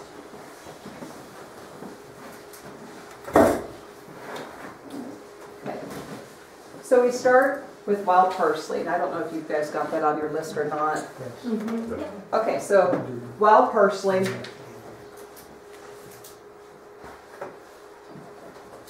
this is what it looks like. We're gonna see it here pretty soon. Lomatium foeniculaceum. And then I have all the kids say, okay, Lomatium foeniculaceum. And you would think that the kids would be freaked out by that. And have I told you this, that they're not at all? And there's one reason why. And that's Harry Potter. Yeah, that's. Yeah. Oh, that's so I haven't taught since Harry Potter was popular. I should try it again. There you go. Never seen. Harry Potter brought Latin into the world of these children. And so, it's, and I said that, and I said Lomatium foeniculaceum, and I said that on purpose that way.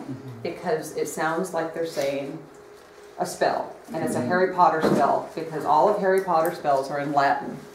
And they're all like, yes! And they completely identify. Isn't that cool? There's a book that's been published, which is like a field guide to all the books of the uh, Harry Potter. It's- Yeah. It's fanciful. you know, Yeah. Anyhow, it's very interesting. My wife bought a copy of it, so I've had a glance at it. Mm-hmm. And so a couple of, a couple of notes about this, it blooms March to April, so again, we're gonna be seeing this very soon, and it is edible. So once you identify this, make sure you have them, have them taste it. And it tastes kind of like spicy parsley, it's really good. Another thing you can point out, or that I normally point out on this photo, is these guys down here. Okay, and, and so, like I said, what do those look like? What do those remind you of? Because kids are gonna look at that and, and, so what do you think, Kelly?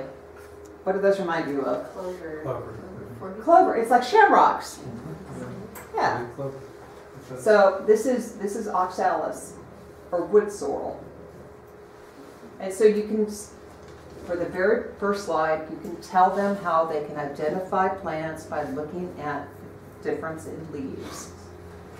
Some leaves look really fine and feathery, and some leaves look like little hearts. And you've just empowered them, because they're gonna go out and they're gonna find them. And they now know that there's a difference. Yarrow, So, go ahead. if I could, uh, if you back up on that, because, um, you know, part, this parsley is yellow, but parsley, it's, it's just my own discomfort. I'm a biologist today because I almost poisoned myself with poison hemlock. Hmm. When I was in fourth grade trying to find Queen, Queen Anne's lace. And Yes, yes. the local expert had misidentified it. And I was gonna believe the local expert, but I was skeptical enough, early enough in my time, that I figured out that he was wrong. So fourth grader telling the local expert he's wrong is something, but my point is, is there's other yellow plants in the parsley family that are extremely poisonous as well. So when we start having students taste things, I think we should, hmm. I think we should be really careful about Yeah. doing ones that can't be confused. What about oxalis? It's, Well, oxalis, Edible. o- oxalic acid itself is uh, a pretty sharp poison if you get too much of it, but it's, it's so, it's, it- it's such a great taste, you, you Yeah. got it. And there's, anything that looks like it's not going to be, uh, well, three leaf clover, I mean, it's got cyanide in it, but nobody's gonna eat that much. But it, it, you, you, you, you have it up there that you taste, so.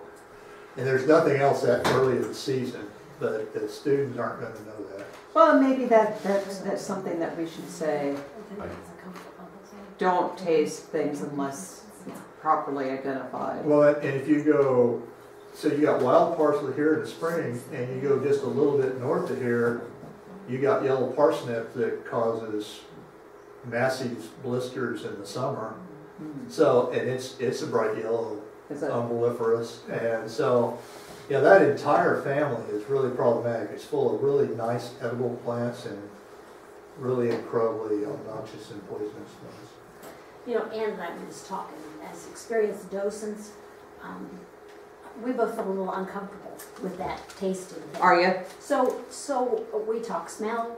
We- Okay. We get those leaves and crumple them and smell them and, and even that could cause a reaction if a kid has some kind of a, a allergy Like to allergy? the touch allergy thing. But there are a lot of docents who feel really comfortable having kids and I, I envy them, their, sh- their certainness. Well, I'm certain of the identification, it's because just I'm- I know what kids do. Yeah, yeah. And, and what You things think are coming on knows. I'm certain. I mean, it'd be like like if we took them out to, uh, do mushroom hunting and we said, here, you can eat this one, right?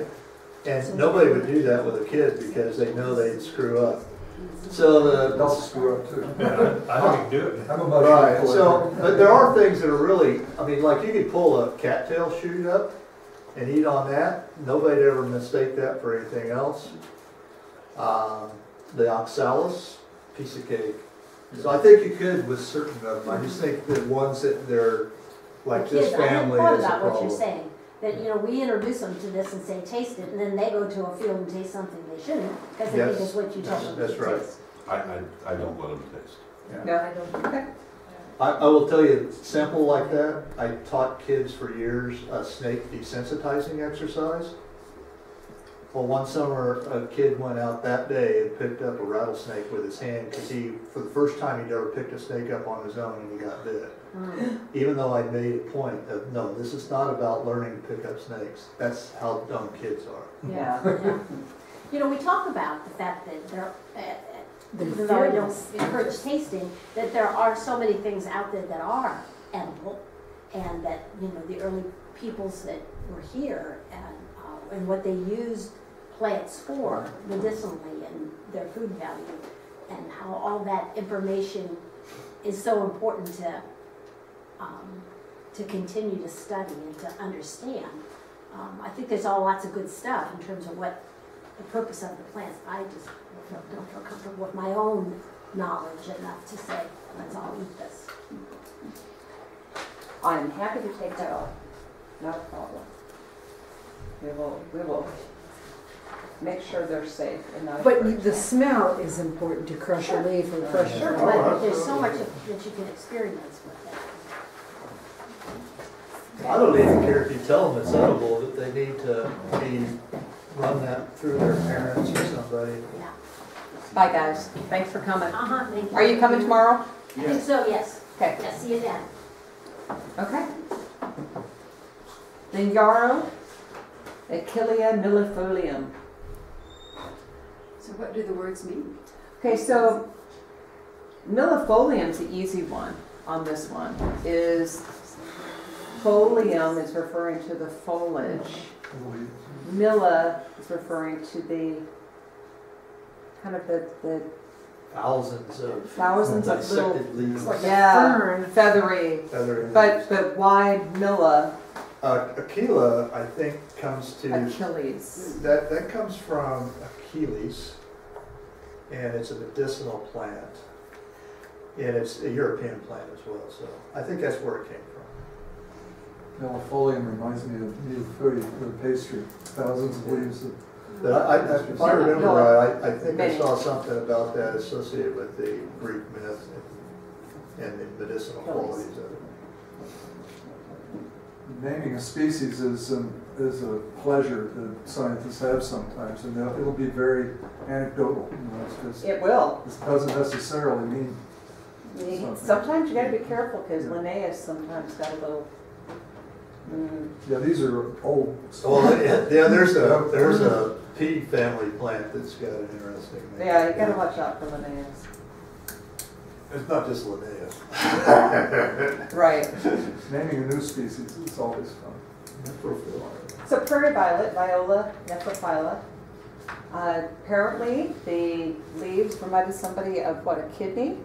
Yeah. Kidney-shaped leaf? Nephron. Yeah, Listen to that anatomist over here, she's screaming from ear to ear. yep, yep. When you see nephro. There's another edible. You can take that off. The other thing with violets is they're uh, host plants to um, the fritillars, The, the, mhm. the Yeah. butterfly fritillars. the, the fringe, for the regal fritillary. But not Not this one. this one, they're it's the bird's foot. foot, yeah. So when you say you'll take off that they're edible, I, That might be okay. I think that's so neat to know, it's just. I think just. I as think an I say we are edible, not gonna but taste We aren't it here. doing that here. I took a, I recertified uh-huh. once on a plant, a class called Prairie Plants Edible and Medicinal, and it was one of the most interesting things. Uh, Just to, to realize I didn't that taste there are a single plants. thing, I mean, but. There are plants yeah. out there that are. I might say they're edible, but we don't do it here. Yeah. Right, right, You right. might All- confuse all it I- later. Because we don't know about all your allergies and we don't know that That's the everybody, problem. yeah, I would just hate for them to not know. 'cause Yeah, it's it's so edible, but we don't do it here because we don't hear allergies, we So maybe don't, just we're not your chase- parents. yeah, That's a Give great. No, I was that fourth grader that was eating everything I could find when I Oh. almost did that, right? My- So, My I just- husband does that, he eats berries on, oh my god.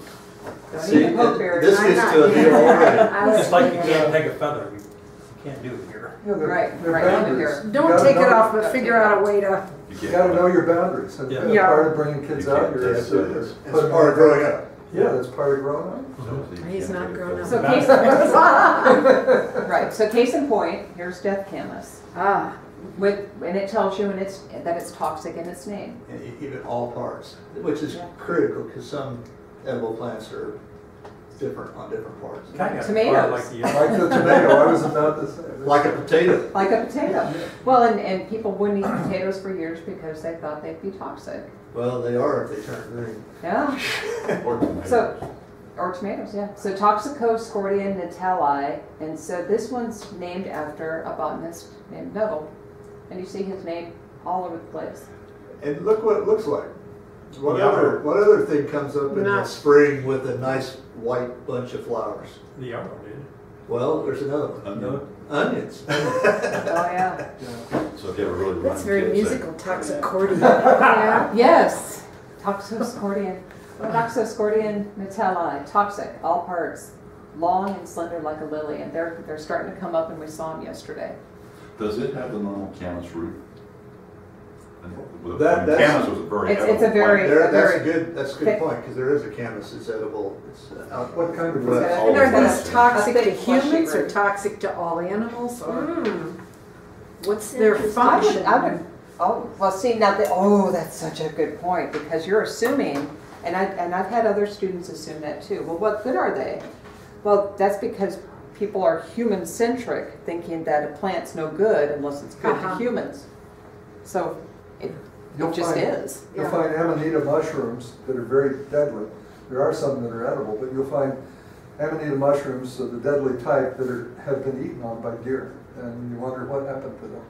Or, uh, so, anyhow. We don't have time for my amanita mushroom stories.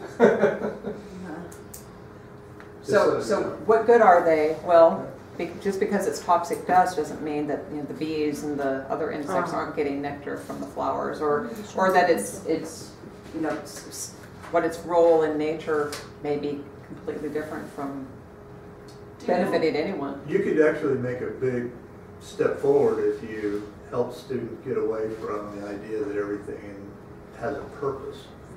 Everything fits in. and It just, it does just things, is.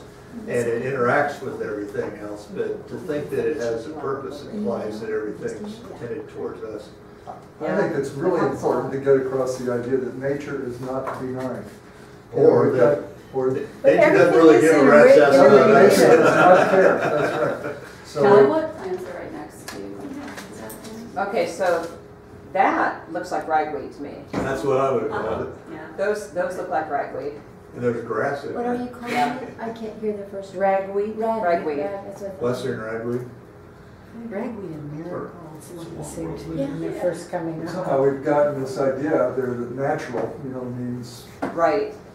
And, and Katie. you guys are, you guys are already figuring out what you're gonna talk about when you lead hikes. Yeah. You talk about this stuff. And say, all right, so what do you know about this plant? Would you eat this plant? I was really excited when I first saw this The plant. first word till gives I a clue. found it. That's Yeah. what it is, 'cause You can tell thinking them it's that. related to the southwest. Yeah. And I'm going, oh, oh, good, I got another root plant I could eat, but nope. Okay, so I'm just gonna show you very quickly the rest of the slides because we're quickly running out of time. So just to see what's coming up, because these are the flowers that we will be seeing maybe tomorrow. So here's the ground plum. Wedge leaf draba, a tiny little plant. Oh, really? Teensy tiny, oh, I shouldn't have shown, I can't put this one up now on Facebook. It's cute. No. I have been looking for that for so many years. I can show you exactly where it is. Hmm. Okay, it's- I'll- I will bring my Aldo Leopold close. It's, it's right here at the edge, it's by the, the propane tank, Okay. right along that edge. Right above. One, No, I don't. yeah. Which is a B one. I'm just getting the ones up. There's our Johnny jump up with the yellow in the middle. They'd be tiny. Oh, that one is in. Oh, what's the bio on it? Uh-huh. Yeah, that's another one. Johnny Johnny. Because it, it just kind of shows Oh, up God, yeah, It's- okay. it very It's- quickly. It it shows up a lot in lawns could too. get that Yeah. information. It, it will be out here in our lawn. I'm gonna go to the Buy store. that at the. Yeah. US. Dawn, do you want to make the other Oh, one? yeah, there's a good one called the Blue Slender Fumewort. So this will be over by where the sun photometer used to be. If you can remember where we pointed that out was yesterday. the spot where an instrument was going. Where the instrument, Pad was still- the, the pad's still there and the slender fumeworts will be there too. So- All right, so this one. This was the discussion that was. The, This one, all right. The, uh, All right. This depends on the age, okay? So if you've got, And it's sad, isn't it? if you've got junior high kids and you want to keep their attention, I turn this into kitty toes. Yeah, yeah. I turn this into kitty toes, and it'll be kitty toes on the sheet, and I tell the docents. And then mm-hmm. they roll their eyes at me, and I say, yeah, you're gonna go love, you're gonna appreciate this. It turns into kitty toes. Because they're just, they're just soft, little fuzzy mm-hmm. flowers. So it's, it's a legacy of like the Victorian age. Yeah. And we'll find those, okay. Neither- Okay, we go back, neither male or female. Okay, so, so flowers are, they, monoecious means one house. Okay. Mono is one, ecious is house. So the, the flowers are either boy flowers or girl flowers. Uh-huh. And so if you've got yourself a magnifying lens, you can get down there and see if they have stamens or if they have pistils. Ah, But you're gonna have to be laying on the ground because they're pretty tiny, they're about this tall. You just, I uh, couldn't find that. I, I was, you know, I've never owned a hand lens, uh, I mean, you know, Yeah. like You're gonna want one, So we're gonna need one. you're gonna, you You can, can, you can get Buy that without one, but you're gonna want They one. sell in Hobby Lobby, pretty good ones there. Uh-huh. Condos. I ordered some Russian ones that were spectacular. Of course. all right, so what's this? Oh, that's the one we're not supposed to. Parsley. Parsley. Wild parsley. Parsley. Well, yeah. So this is what the kids are getting. What's this Kitty one? toes. Kitty toes. Kitty toes. Cat toe. Cat toes. What's this one? Uh, yarrow. Or Western yarrow, if we're gonna be specific, but yarrow. How about this one? Corydalis. I was- Yes, I was talking about yeah. I can't remember. this is We don't slender have it in hand. few that one. words. Slender Slender few few more. Oh. So wort, wort is an old English term meaning plant. What's, what's interesting about this, I think it's also important, some people wonder, why do you worry about Latin names? They're supposed to be, that's an easier way to communicate with science. But some of the common names are so awful, you might as well just learn the, the scientific name, because Corydalis is, is, uh, you know, a variety of plant you buy at the, at, at a greenhouse, so, Bleeding heart, yeah. Dutchman's britches. Jeff mentioned the other day that there are common names for plants that actually have several different Latin And there, species. well, we got into called one of the our deals where I messed up a common name, so. So Common does- names are a train wreck. If you're a scientist, it just cuts to the chase. And it doesn't, you don't have scientific names that say pussy toes. Yeah. I know, I know. Maybe. I got a few others that, that, yeah. Well, let us know here. Oh, it's bad. Phallus Yeah. mushrooms. Yes. Well, but, uh, How there's, does that wart, What? how does that wart relate to the wart when you brew beer? That's also called wart. uh, that's a different deal. But, So, so that, that word, the old word meaning It word means, the means same. plant. It just means. I I don't know, I, I, Well, I did and look at that hops, maybe- recently and I can't remember what it hops was. Just and mash. something. I don't know. Hops is the kind of plant. Well, hops is, but, but after you, the wart is what's left. It's when you Yeah. throw away After you brew, I don't know. it's, it's The the mash in the the bottom of the kettle. All right, what's this? Some kind of violet. Violet. Good. Very- Very very violet. violet. It's gonna have more of a heart-shaped leaf. Which is, uh, what was the scientific name on that? Viola Oh, yeah. I know. nephrophylla. that? Nephro. Yeah. It had the kidney shape. nephrophylla. Are some of those bluer than that? instead of that purple? Sure, oh yeah, you're gonna have variation in the, in the flower, in the petal color. Sure, but the, it's the heart-shaped leaf is the giveaway. What's this? Draba. Yeah, wedge leaf draba. And it's, this isn't, you don't see the leaves. The, the leaves are little and they do have a, a wedge, the central, That's a, central vein. What's extending from inside the flower then? Or is So it- that's the, the fruit that's starting to develop. Oh, you mean this right here? Yeah, there's- It's not the pistil, so I'm thinking that's the fruit that's I starting think to it has to develop be, yeah. out of the flower. And here. Elongating, it's Yeah. elongated. elongating. How tall is wedge leaf? Hey, are we likely to see any orchids? Yes, In September, In September, we have a spot. there's two, s- Okay, three spots. what's this? I don't know. Oh, Right here. Yeah. Yeah. And right with. That's one we saw, we saw it growing yesterday. Red, Red red, Red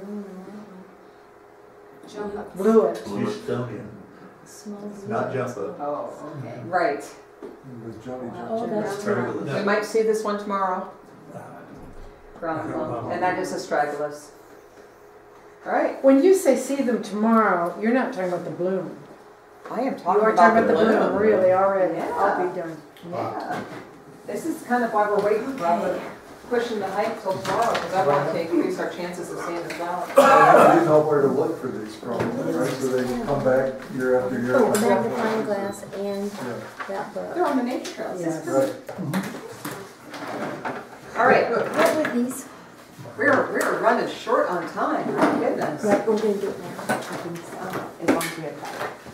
I don't know that we're gonna have time to do the plant ID exercise, Okay. now that we ran around and got it done. Um, That would So- One of the things that we do after the PowerPoint is the, we give the kids one of the previously pressed flowers. So Previously pressed. Haley and I had gone out like the week before and cut samples of these blooms, and then we press them in a plant press, and so the kids learn what a plant press is and how it works. Isn't it a And then- and wax paper? This is one of the few examples of where the kids get something to take home. Oh, They get to take these home. And so they glue, first of all, they figure out what, what it is. So what is this? Maybe No, it's the- I was thinking, Uh, Oh, we just What saw, the it. conversation took so long about poison. Yeah. Oh, is this death? This is dead camas. Just kind Is This it dead- still deadly when it's? Yeah, but. Don't I of, eat oh, it's do like, that. that- yeah. that- that- Okay, so, and then you, you see the equipment that's Yeah. out. So what they do is they will glue, they will They trim can it do as needed. Um, you can just leave it here to dry.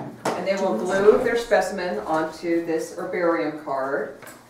Then they will fill out a label with the common name and the scientific name, and with their names and the dates, glue that on to the card. Got a. And that's, the glue is in the. The glue- petri dish with- Oh, and then put this on. Using the Q-tips mm-hmm. and the glue in the petri dish. So they're just putting a dot in each corner. They don't need to put any more than just a single dot.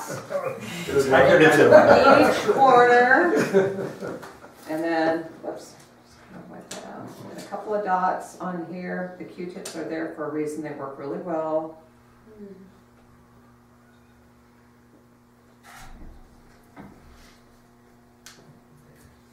Okay, glue that on. And then to protect it, you've got contact paper. This is the hardest part. So they learn what a dog ear is. Mm, They make a dog ear bend and they just pull it back. They can separate Oh, and it seals. Ah, and then they lay that down with the sticky side up. Take their card, put it down in the very middle. Okay, That's and you fold, fold.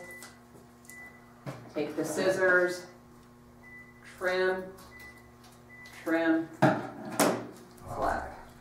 Okay, I got like this. What age group are you doing this any, with? any, They'll have fun. they all have a ball uh, Cool. That's really Cool. nice. and they can take this home. So how did they identify the plant? Just from your slideshow? I From, mean, and going was out, yep, so they There's know. only a few that are gonna be available in any given week, so you don't have to know all seven A hundred. little harder without leaves. What's that? A little harder without leaves. It's, it's, well, and, and we put, It's- we put books out, Yeah, mhm. and we also have some other, we have some, um, laminated sheets with colored photos and names. So they've got it narrowed down. Mm -hmm. I tell them it's one of these, mm -hmm. and mm-hmm. they've got it narrowed down, and they can talk amongst themselves, and mm-hmm. we, we let them know. Sure. So you do those activities in this room? Yes. Right here. So a smaller group, not like it's it's it's half the class, so it's like twenty five kids, oh and then oh gosh, and then we just put them all in one bag to give to the teacher, okay. but they have the kids' names on them. So when they get back, they get to get them back. Oh. So you got back. four tables here with six chairs at each, I guess. Yep. 24. Do you press the contact paper down differently or just leave it like that? I would have done a better job. You were in a hurry, I know. I just wasn't curious about what the kids were. gonna do. It comes in all different permutations. Mm-hmm. The, the hardest part for them is trimming the corners. They want to trim the, the wrong way, so you've got to trim towards the center. Yeah.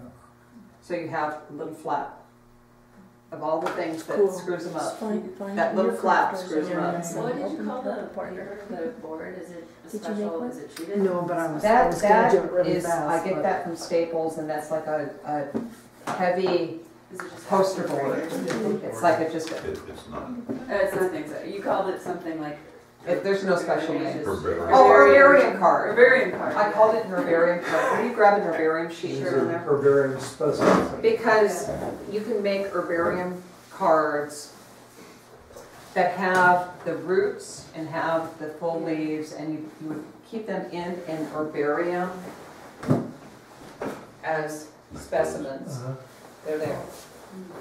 And when they're Uh, bigger than fit on now, they'll bend them. and They'll be bent, right. Most of them will be bent. And, and what you really want is the full plant. And so we have herbarium specimens from Lewis and Clark. I mean, not us, but like at Harvard. It's amazing how well they keep. In, in my work, I've worked on a disease of grass plants, so rice and wheat, the main things we've focused on. But you can snip off a diseased leaf, tape it down with scotch tape is what we usually use, and keep them forever. As long as you keep them dark, the leaf is still green, and you can look at it and see exactly what the disease symptoms were like. And uh, that amazed me when I got into Not only this. that, the mosses you can actually revive. You can bring them back to life. So- Actually, you get fungus out of these leaves when they're very old. If you're really interested in the plants of Konza, we have herbarium specimens in here. And so, come on up.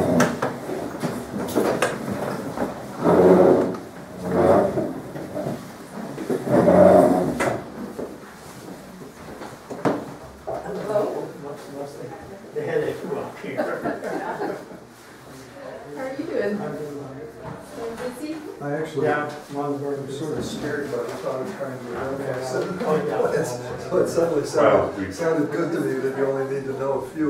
At any time, you know, Yeah. something, we, I go out, the plant guy, well, I used to, I'm still walking there every Saturday. And we, we'd see She's 20, 30, 40 different plants out there. But it changes constantly. You know, This is so beautiful. I have- I have ten thousand pictures of flowers on the concept. Oh, gosh.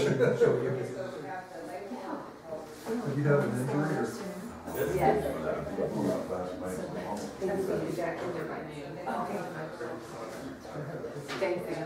Good to see you. Let us know. Keep us posted. We think of you. on the list for this. I just saw that today too. I have a note on the front of my note. Update. Okay. And then also now consider plant ID or herbarium list under there just so that it's, it's, weird. like, uh, Not like, we've never. Yeah, lots of them. The food collection. There's a little Boston. That's the flowers on the stream map. Is that, is that the insect collection? Yeah. Oh, Macro. Yeah. I think I know someone who probably know very well, Dave Sampson. Oh, yes. Isn't he a character? He definitely is. I worked with Dave for a number of years, went out burning with him last year. Yeah, he's a neighbor and we do a lot of music together, but uh, I've noticed, you know, that he's got extremely musical. he always sense. has been, but he's done. I didn't know that when I was working with him. Oh, yeah. Well, he, I, So, and, and George, um, LaRue, who has Bison and Alta also. Anyway, the, those guys are, in Dave is probably at the top of unique. I will He must have been, he was here at the beginning when you were, yes? He came a little bit later. Let's see, when did he show up? Well, in this, he said Hulbert was a hired him. Yeah, yeah. So I. Oh, you did, excuse me, I'm sorry. It's okay. Lloyd, well, I had seven papers. Um, probably mid eighties. No, he was here before then. He, I talked, I talked to him just recently, and, Okay. uh, he was still, a he was still a student at K-State. I mean, he was an old student because of Yeah. military. Well, I know he, well, he, He he said seventy, it could be, you know, it's about nineteen eighty when the LTER project started. And I know he worked with one of the researchers there for a year at Okay, least. And then okay, maybe that's what. went to um, facilities as a roller, Yeah. but wanted to come back Yeah. out here, so we had a position. There's an insult question in there as well. Well, I made sure I wrote your name down so that that. Okay, guys, go ahead and have a seat. We've got one other thing to say, Hey! He's probably got lots of stories. Some of them Oh my gosh. Yeah. He's a, he's, mhm.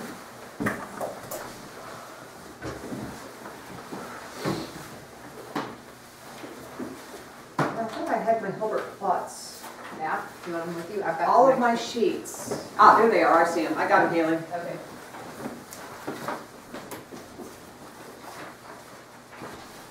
Okay, if you would refer to in your books, the Hulbert plots, fire demonstration plots, which is at the very beginning. You've got the general project description, and then the next page is the Hulbert fire demonstration plots.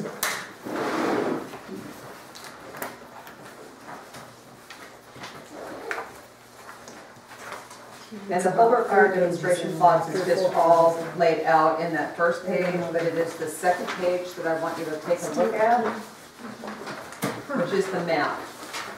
Oh, it's the third page. Okay, so this is, on this one? This this is one. Pass the chart, there you go. It should be the next one.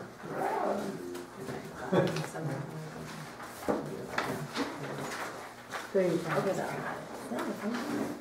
Okay, so now you can visualize where we were yesterday. Are you not finding it? From the SLTR.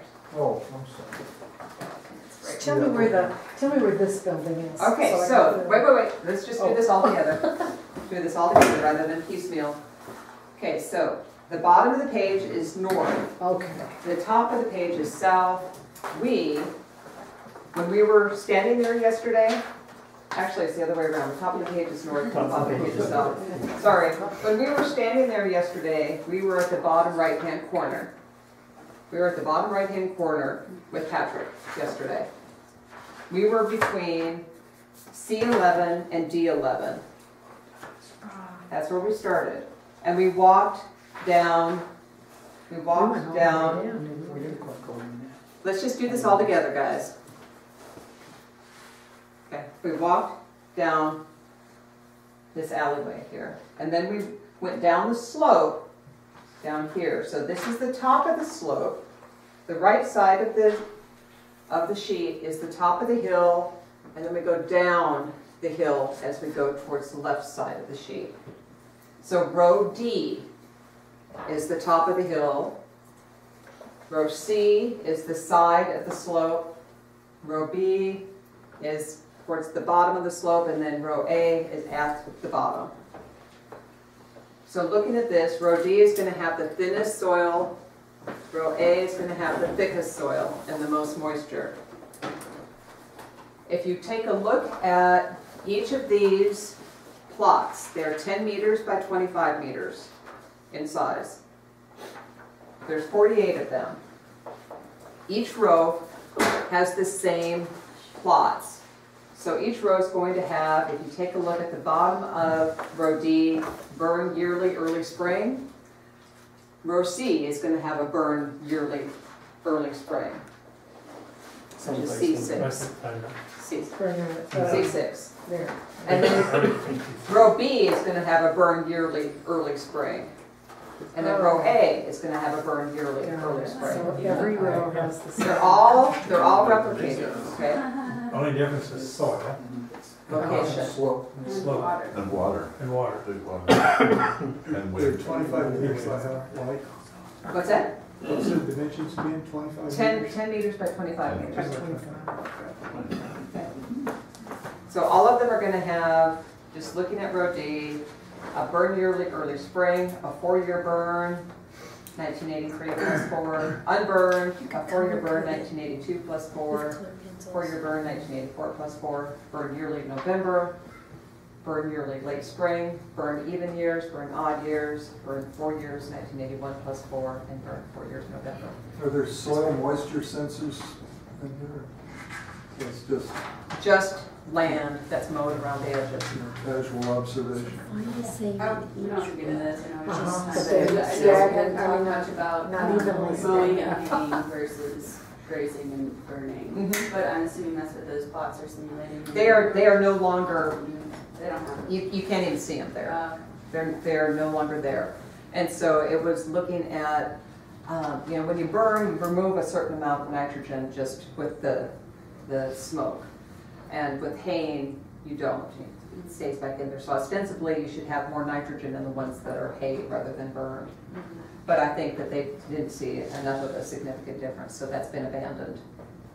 Was part of the goal of this to figure out what might be going on with the larger watersheds and to help with The, planning the, that? the goal of this was to provide an easy public visual. So it's public of the effects of, of fire on the prairie. You could just walk out there and boom, you could see it. So it's educational and not research. Right. based. It's not research, it's education. The other thing that it does is it, on some of Lloyd's early research, it put a lot of these different type of experimental plots close together on the same, That's nice. same slopes and soil depth, as opposed to quarter mile, half a mile apart out in the prairie. So he was able to do some research in this as well. There was research in the early stages. Yeah. So if you go up on Share the north Oh, end, okay. up on the hillside, you can stop there, and look out there and and show the kids, here's what all the different single ones thing look like, for nicely me yesterday burned. was pretty. Don't- My don't- finger don't stick it away. Under Keep it out. and the burn. Keep it out. Okay, And it was So cold, and it was covered. you two are gonna work with this together. Oh, okay. Okay. standing right next to him, so he said, he'll do that. So this is what school groups receive when they come here. I give them this data sheet. And the data sheet has assigned plots. Each one of your sheets is different. The kids are broken up into teams of two. So you would be working with a partner. You could be working in teams of three, that's fine. So find the data sheet that Haley gave you, it's got the red markers on it. Is it one? That one I just came into. right? This Oh, one. this is for me. It's for all three of you. Oh, Oh, because I don't have one in my book. We'll They get have you it one. like copy. Yeah, but the, okay, look at the plot, here we go, we're gonna look at those two. yeah, the plot's not listed here. I get it on the sheet. Any two. Okay, so I need your attention. Get oh. ahead, ML. Oh. Okay. They just get the sheets and they don't know what they've been assigned. So their first, their first job is to figure out, what have I been assigned? Because we give them the map and now you correlate with what you've been assigned with the map. So number one, you find out what, where your plots are. And number two, you find out what the treatments are. So for example, I got D3. What is the treatment for That's. D3? Odd years. Burn Okay. odd years. Every So- other At year. the top. At the top where it says name of plot and treatment, I would put burn, what is it, odd years? Mm-hmm. We've had a lot of odd years. We've had a lot of odd years. Is this an odd year? No, Oh, 2018 is an even year. So is, is my plot gonna be burned this year? Mm-hmm. Was it burned last year? Yes. Okay, so I know that going in, that my D3 plot was burned last year. I'm gonna give you another example before you do yours. Year, yearly late spring. B10 is my other example. B10, is that in the same row? Burn, no, no. I'm going down the hill. So B10 is what? Burn yearly, Burn yearly, early spring. early spring.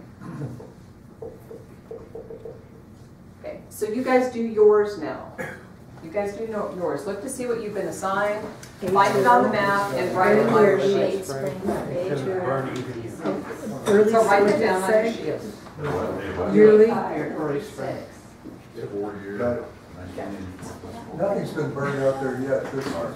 Yeah, we have the, the winter burns. A5. They're burned. What's that? Started nineteen sixty-four. Oh, okay, okay. What time you gonna up on the retreat? They're both burning. Who's got the sheet? We're gonna start off here, I'm gonna talk from nine thirty, nine forty-five. Okay, I'll probably be here.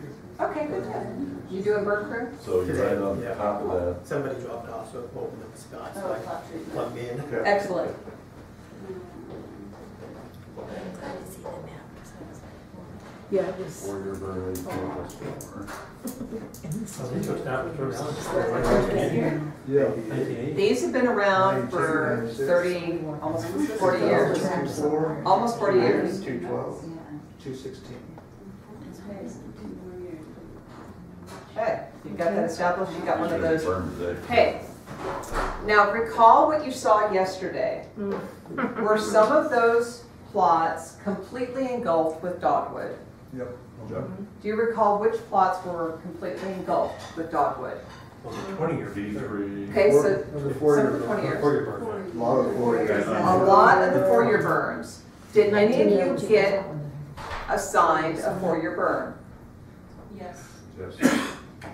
we got eight five. Not only did Didn't we you get this assigned one? a four-year burn. Did you got see one that that See was that over. one yesterday, 'cause So we got one that we can't walk through.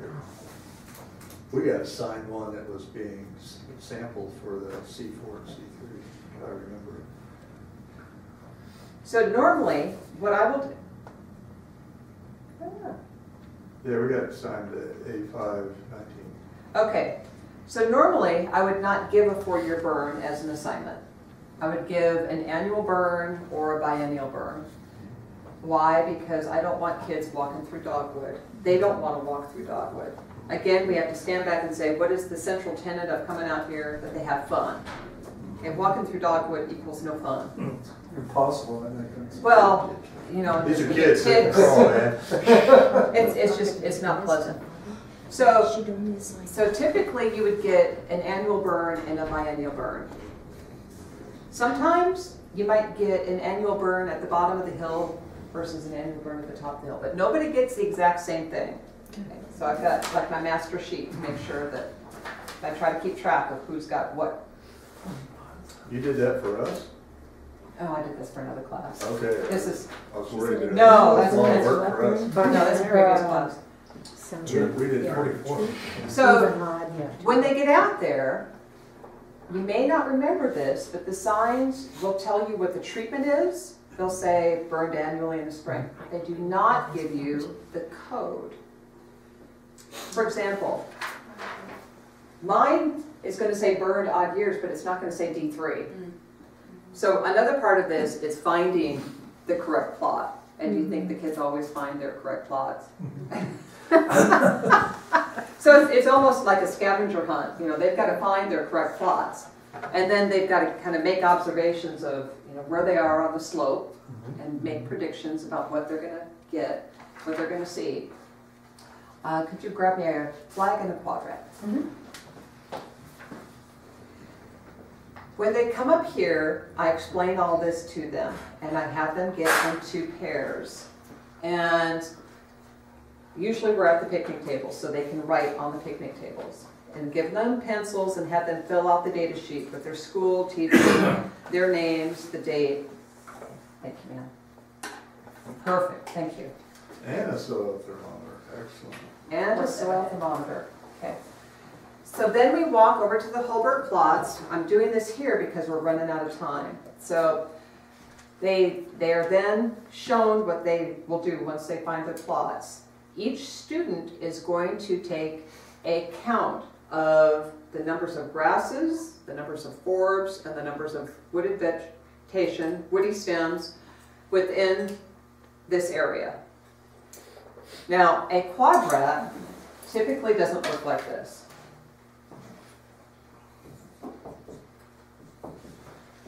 Quadrat is usually a meter squared. And it's usually made out of PVC pipe. We don't have any, so we're using, we're making do with these. These just look like big croquet wickets. Okay? Okay, and so what they will do is each student, one at a time, will pick a side of their, of their plot, doesn't matter which side. Typically, you want to go against the wind, because if you go with the wind, your flag will go past you and, and it will go. You want to go against the wind, throw the flag behind them. Because if you go with the wind, it'll go, the flag will go forward. Carol's, I don't know, what are you saying again? Say it again. okay, so you are at your, you are at I'm your plot. student. You're I'm at your plot. student. You need to find, randomly determine a oh, spot. Oh, I see You need to randomly determine a spot within your plot to sample your grasses, forbs, and woody plants. Because if you go in and just pick the best spot that you like, then that's not, it's not gonna be random determination. To randomly define, find your spot, you need to throw your flag. And oh, you turn Oh, I around understand. and throw the flag, and wherever it lands, you, it's gonna land flat, you bring it up, push it down, and then you put your quadrat, and it's there's some, gonna be some subjectivity here. But put the flag in the middle, we always do the same with the flag in the middle, and the quadrat goes around the flag. Then you need to work the plants so that they, the origin of the stems, the ones that originate outside the frame, kind of bent out that way, and the ones that originate inside the frame. And then you start at a corner and you count the number of green stems for grasses, forbs, woodies, for the entire frame. Wow. It's a lot less than you think. Yeah. It's a lot less than you think, because we're just going with the green, and it really is a lot easier if they get a plot that's been burned recently. And it's like, this is the best thing ever. Because we're looking at the effects of fire on the presence and absence of certain kinds of plants. So ostensibly, the hypothesis is that the plots with the higher fire frequency will have a higher number of grasses. And the plots with the lower, or with the less frequent fire frequency will have a higher number of forbs. So we start, everyone understands that hypothesis. And then we go out, and then each kid does a sample. Okay? So once this person's done, they switch places. Meanwhile, while this one's counting, the other partner is recording. Mm. And they're making hash marks in each of those boxes. So it's one, two, three, four, five grasses per oh. box, and then the next box. Oh, okay. So it's a total of five hash marks per box, so they can easily sum them up. So it's the number of grasses that the first researcher got and the number of grasses that the second researcher got, add them up, number of forbs for one and two, number of woody plants, one and two. Add them up, get a total, and they get a percentage. What percentage, and we give them calculators, but they all use their phones. They're like, we get that look. So, so each of the researchers will look in the same area, count the same. They will each throw their flag. It'll be in two different. It'll be in two different areas of that same plot. Mm-hmm. They throw the flag, they count the number of grasses, forbs, and woodies Oh, good. in that one spot, and then they switch places. Well, oh, they count both spots twice. They, So- or- or- okay, so, so this would be kid number one, Uh-huh. Yep, okay, then kid number two has a throws the difference. flag, gets a different spot Oh, in a the same different, plot. okay, yeah, yeah. So they work together in the county. Oh, that's. One counts, one writes. One right, yeah, That's that's- what I'm about, both. switching, so it's They the roll. both, that's why you. And Yes, then once if there's they're, just once one they've pot, then each they throw the flag counted against their the own other person. spot Uh-huh. within a plot, then they go to the second plot and do it again. Okay. So you can imagine why they're not doing the four-year plots. Right, This would go right in the middle of the dogwood. Well, you made it and, that. uh, That's too hard, yeah, I can imagine why you're not using a one square meter co- quadrant too. This speeds it up a little It bit. speeds it up. Yeah. Why are there columns under each one of those? Yeah. And apparently That's they take the fine. temperature What? of the soil. Why are there columns? Yeah. Oh, that's no reason one, that's just room. Put all your- Just room to put all your tick marks. It's just thinking. So you're saying put five tick marks in a box and move to the next cell on this table. Right, five per cell, Just five percent. five per cell, Oh, see, and there that, it is, that enables easy counting. Right. Because speed is, is essential at the end of this, so five tick marks per cell. Oh, So you, yeah, they okay, don't. there we go. Five tick marks per cell. Got it. And then additionally, you see that we're taking the soil Okay, temperature. So the kids go one, one, one, and the guys just doing one, bringing it down, they go one, two, three, four, five, and One, one, just a tick mark. yeah, big mark, yeah. Just visualizing the kids are doing. So here's your, Actually, it's good for them to figure out how to organize this work too. It's true, yeah. That's a good Interesting. experience, Even kindergarten. should, you know, I- do you recommend them to try to first count all the grasses and then count the Tally. forage? or just- Yeah. I would, I think that would not be They're even there's, graphic. there's more than one way to skin a cat, so they figure it out. Yeah, And they're taking the soil temperature because which plot should be, should have the warmer soil? The ones that are annually burned or the ones that are biennially burned? Well, I know because I stuck my finger in the ground Yeah. yesterday. Yeah, that's that- right. So we, can- we collect data on that Yeah, to see if that supports it, or if the data, they support it. So at the total depth of the soil thermometer or at what, at smaller, shorter? shot? About, about half submersion, so, imagine it's, these plots are probably not too hard to push it down. very easy, Yeah, It very is, easy. there's a big difference between the top two inches and the bottom four inches. It's About half. I've been in farmers' fields where you can't The get soil temperature. moisture from. Yeah. And then they come back, and we tally it all up, and we get, the- we put the data up, and then we, the teacher usually takes a photo of it. How many years of data do you have? A lot. Have you put it together? Mm. I need, I need, we need, we need clones for people who wanna do this. Good grief. Grad students. Good grief. Yeah, I've got, I've got piles of data that I'm just waiting for somebody to come and do something with it. But again, we're trying to address that by having the kids put it online. I've been in the field with a seedsman who's up near Republic. He grows lots of different kinds of seed for selling. And he always keeps track of the stand density for these different things. And he has a hula hoop. That he just Yeah. throws, the hula hoop goes sailing out in the field wherever it lands. He goes and counts everything inside the hula hoop. And uh, he That's, keeps that's track of perfectly that. acceptable. Yeah, to measure uh, how productive his fields are from one year to the next. Year. So, since you, how long, so you've been doing this for a while, so it's relatively standardized. Yes, Um, You could conceivably change it to a truly random sample by having them pick random numbers and take a measuring stick out there and do a grid just about, probably it's about that. Just throwing that flag in the air. I mean, the flag in the air is not gonna be a You random. could get little hula hoops. they aim, I know they do. they're totally aiming away from the dogwood. There's, there's That's- subjectivity. Yeah. Yep. Yeah, okay. Yeah, be interested in hearing thoughts on it. Yeah, Um, yeah, my research methods class, we always had to deal with that, so that's fine. Subjectivity. That becomes a good Sampler topic for bias. discussion. You know, if you witness that, you can find. Well, we talk about that. We talk Yeah. about sampler bias. Right. And we, we address it out there and say, okay, Yeah. I see that you are throwing it this way because the dogwood's over here. Like, there's a word for that. Mm-hmm. You know, and so they learn it. It's part of the deal. This is good. Yes. Okay, so tomorrow, we're gonna meet in here and we're gonna talk about what, what one does when one leads a nature trail hike and what, how we start and the, what you consider.